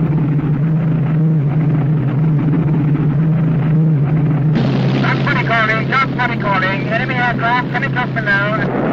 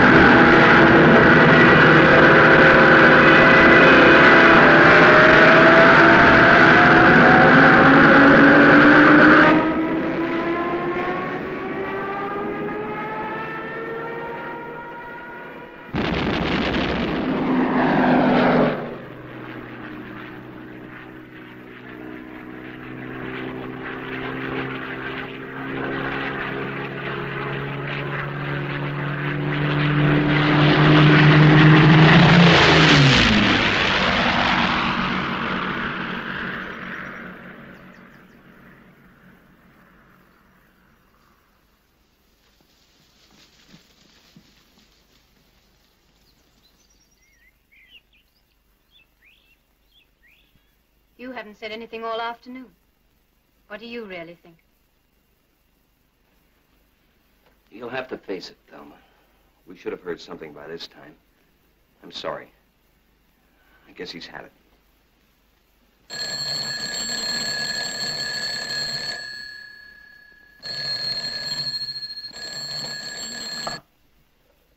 Hello, yes? I- Yes. Where is...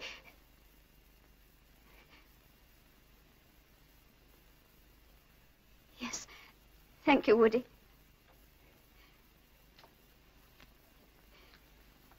Douglas is a prisoner. Yes, wow! Father never held him. You see, you were quite wrong. You know me, I'm always wrong. Where? How? Woody doesn't know. But the Germans have asked for another leg to be dropped. Well, we'll do that. No. He said they're going to do it on a normal bombing raid.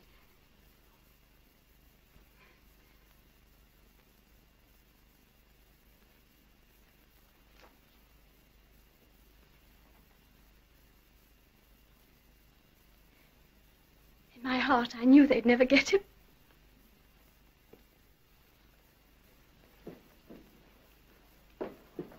Ah, bonjour, Lucille.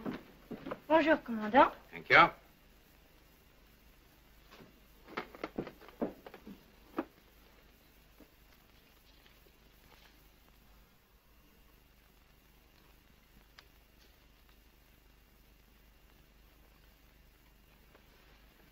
What's that?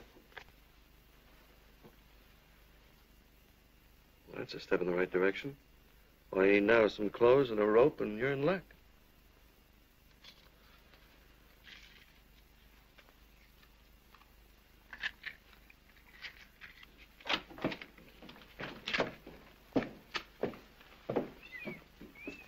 You have everything you want?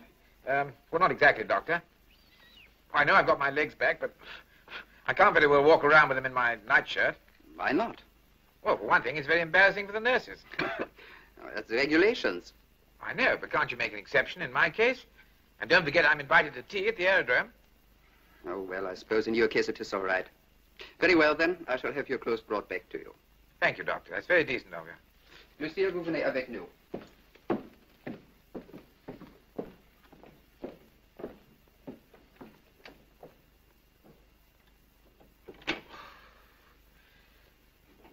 Now all we need is a rope.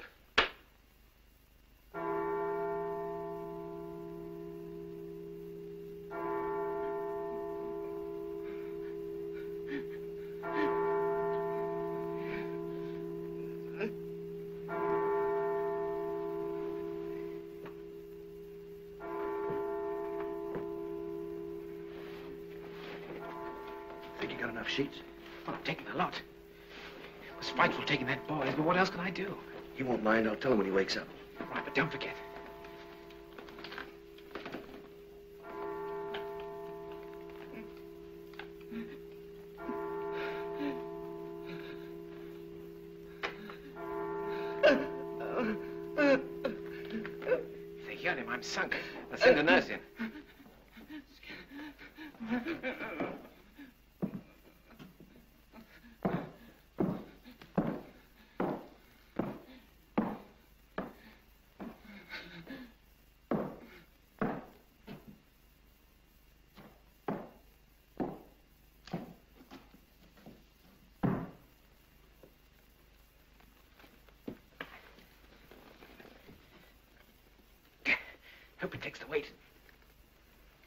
Creek if you're left hanging.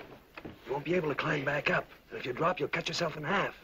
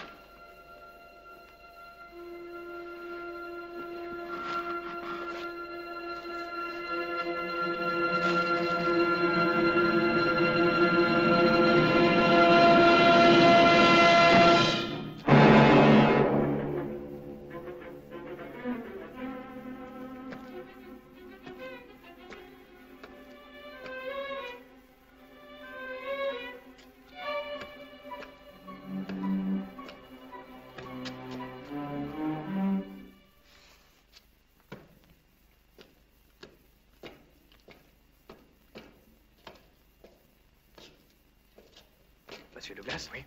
I'm Gilbert Petit. Vite, par ici. It will not be easy, monsieur.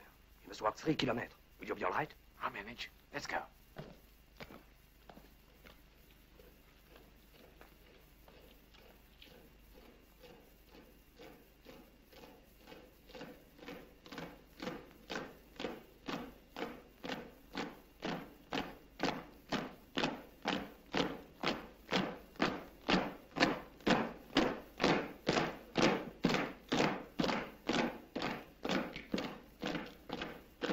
All right. Yes. But you must be careful, monsieur. It is a long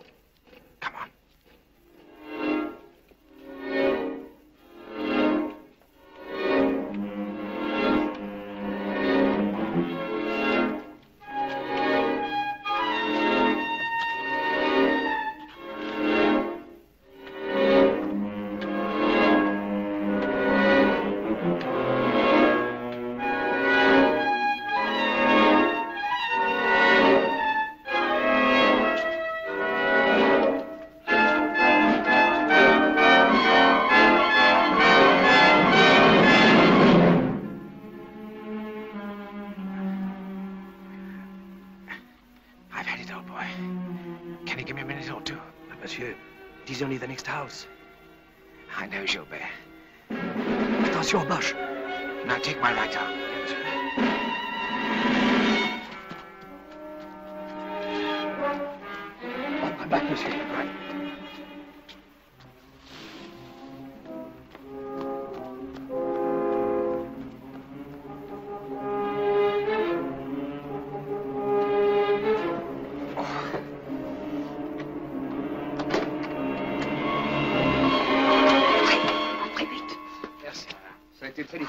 jambes lui font mal. Veuillez vous asseoir ici, dans ce fauteuil. Oh.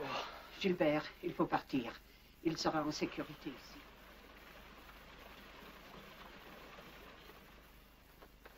You are refreshed, monsieur? Yes, madame. Thank you for looking after my legs. That ointment's very soothing. Bien. Must be glad when it's dark, though. If they find me here, you're liable to be shot. I ought to be hiding outside somewhere. They will not find you. And tonight, when it is dark, my son-in-law will take you to some more friends. Now, drink your coffee.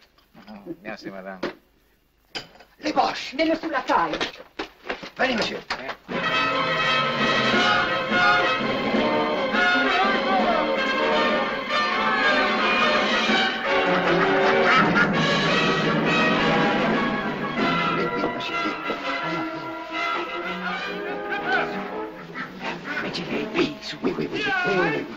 Oui, comme ça. Vite, vite.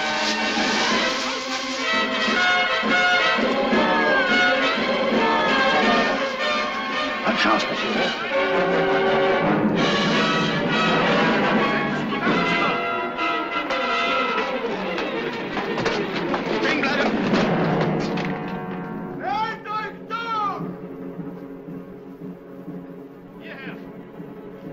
Sieh dir das mal hier an. All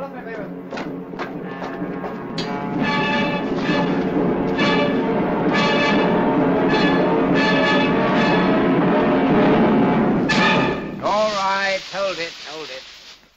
Ihr müsst anständig geguckt haben, ihr Idioten. Wir haben alles durchsucht, Herr Feldwebel.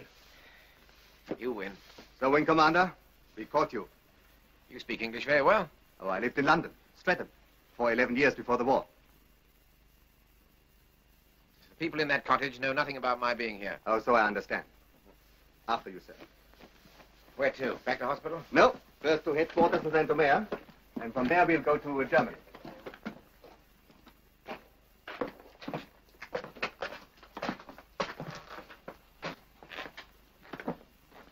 Die beiden auch. Oh. Ja,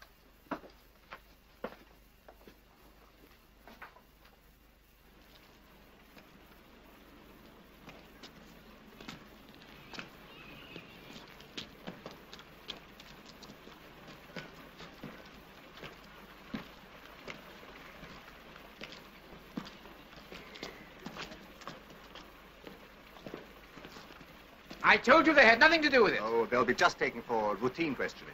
Into the car, please.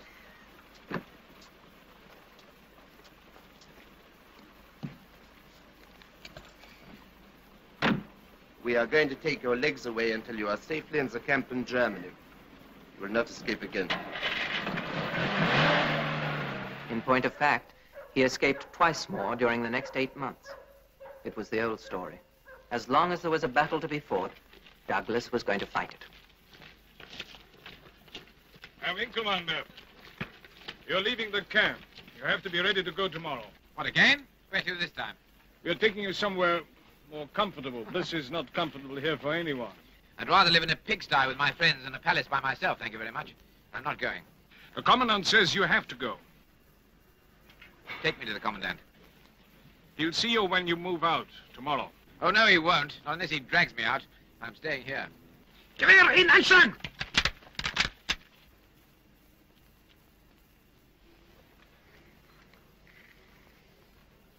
I'm staying here.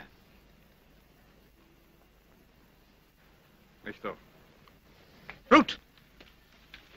You must stand to attention when you address a German officer. When I want you to teach me manners, I'll ask you. Until then, shut up. Muss man sich das gefallen lassen? Na, lassen Sie das. Wir besprechen das morgen.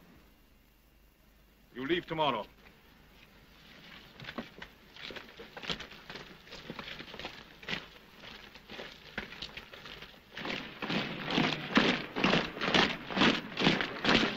Along! Up! Pity Johnny Sanderson isn't here. He'd have enjoyed this, like the old days.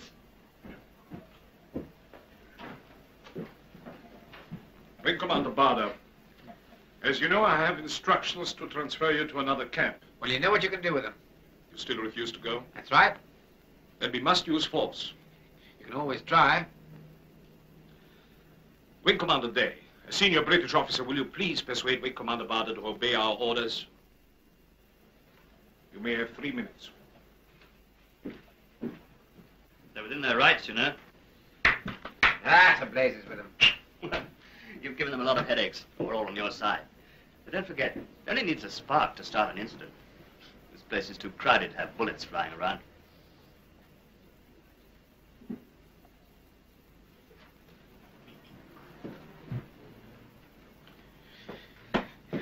All right, Harry.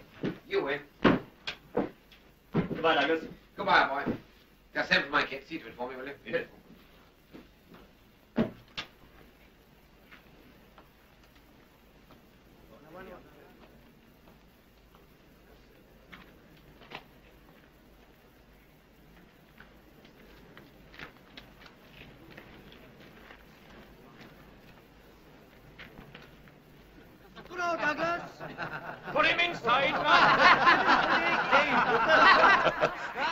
He's inspecting the bastard.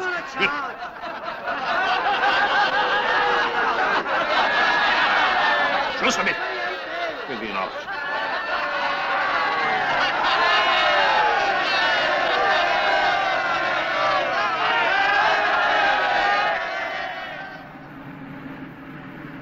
Douglas was moved from prison camp to prison camp, until inevitably he ended up at Colditz Castle.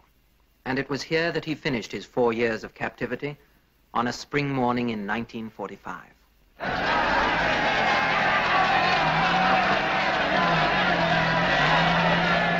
Hey, they've arrived. The Yanks are here.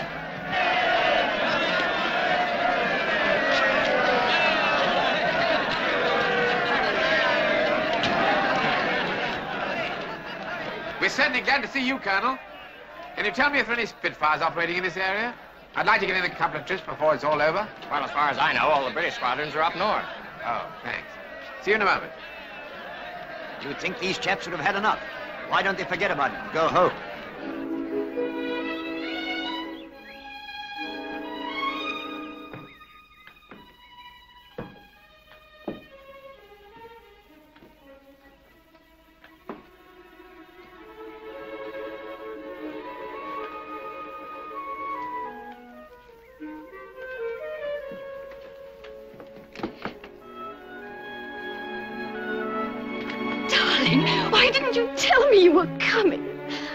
Got here as soon as possible.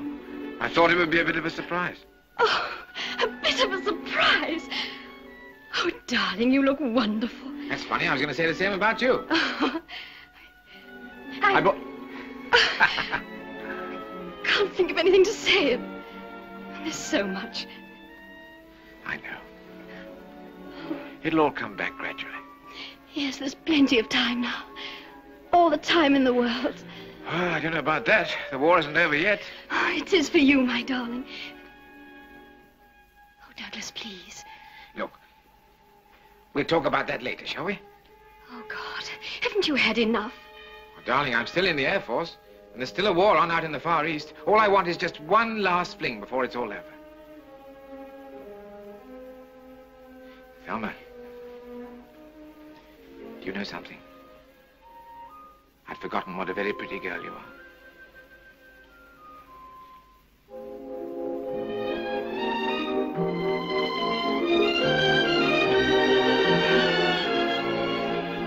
I suppose it won't make any difference what I say. You'll still have your last fling.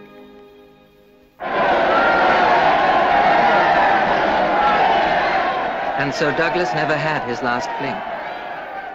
But on September the 15th, 1945, the fifth anniversary of the greatest day in the Battle of Britain, 300 aircraft were to pass in triumphant procession.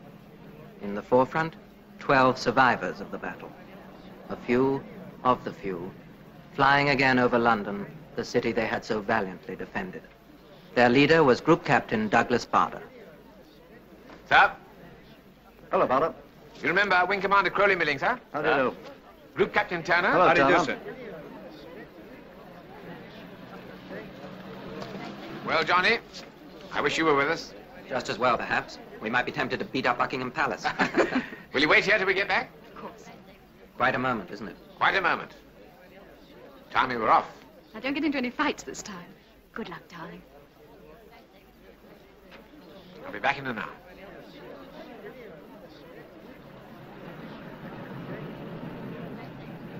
Time to start up, sir. Very well. See you later, Bollop. Thanks. Let's go.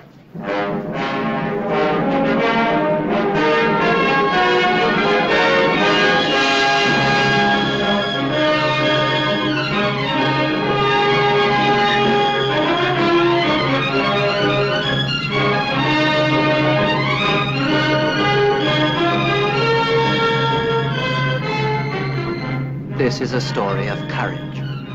It has no end because courage has no end. It is the story of a man made famous by war, yet for whom the war was only an episode in a greater victory.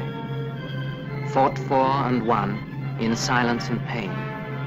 The victory of a man's own spirit, creating strength and hope out of disaster.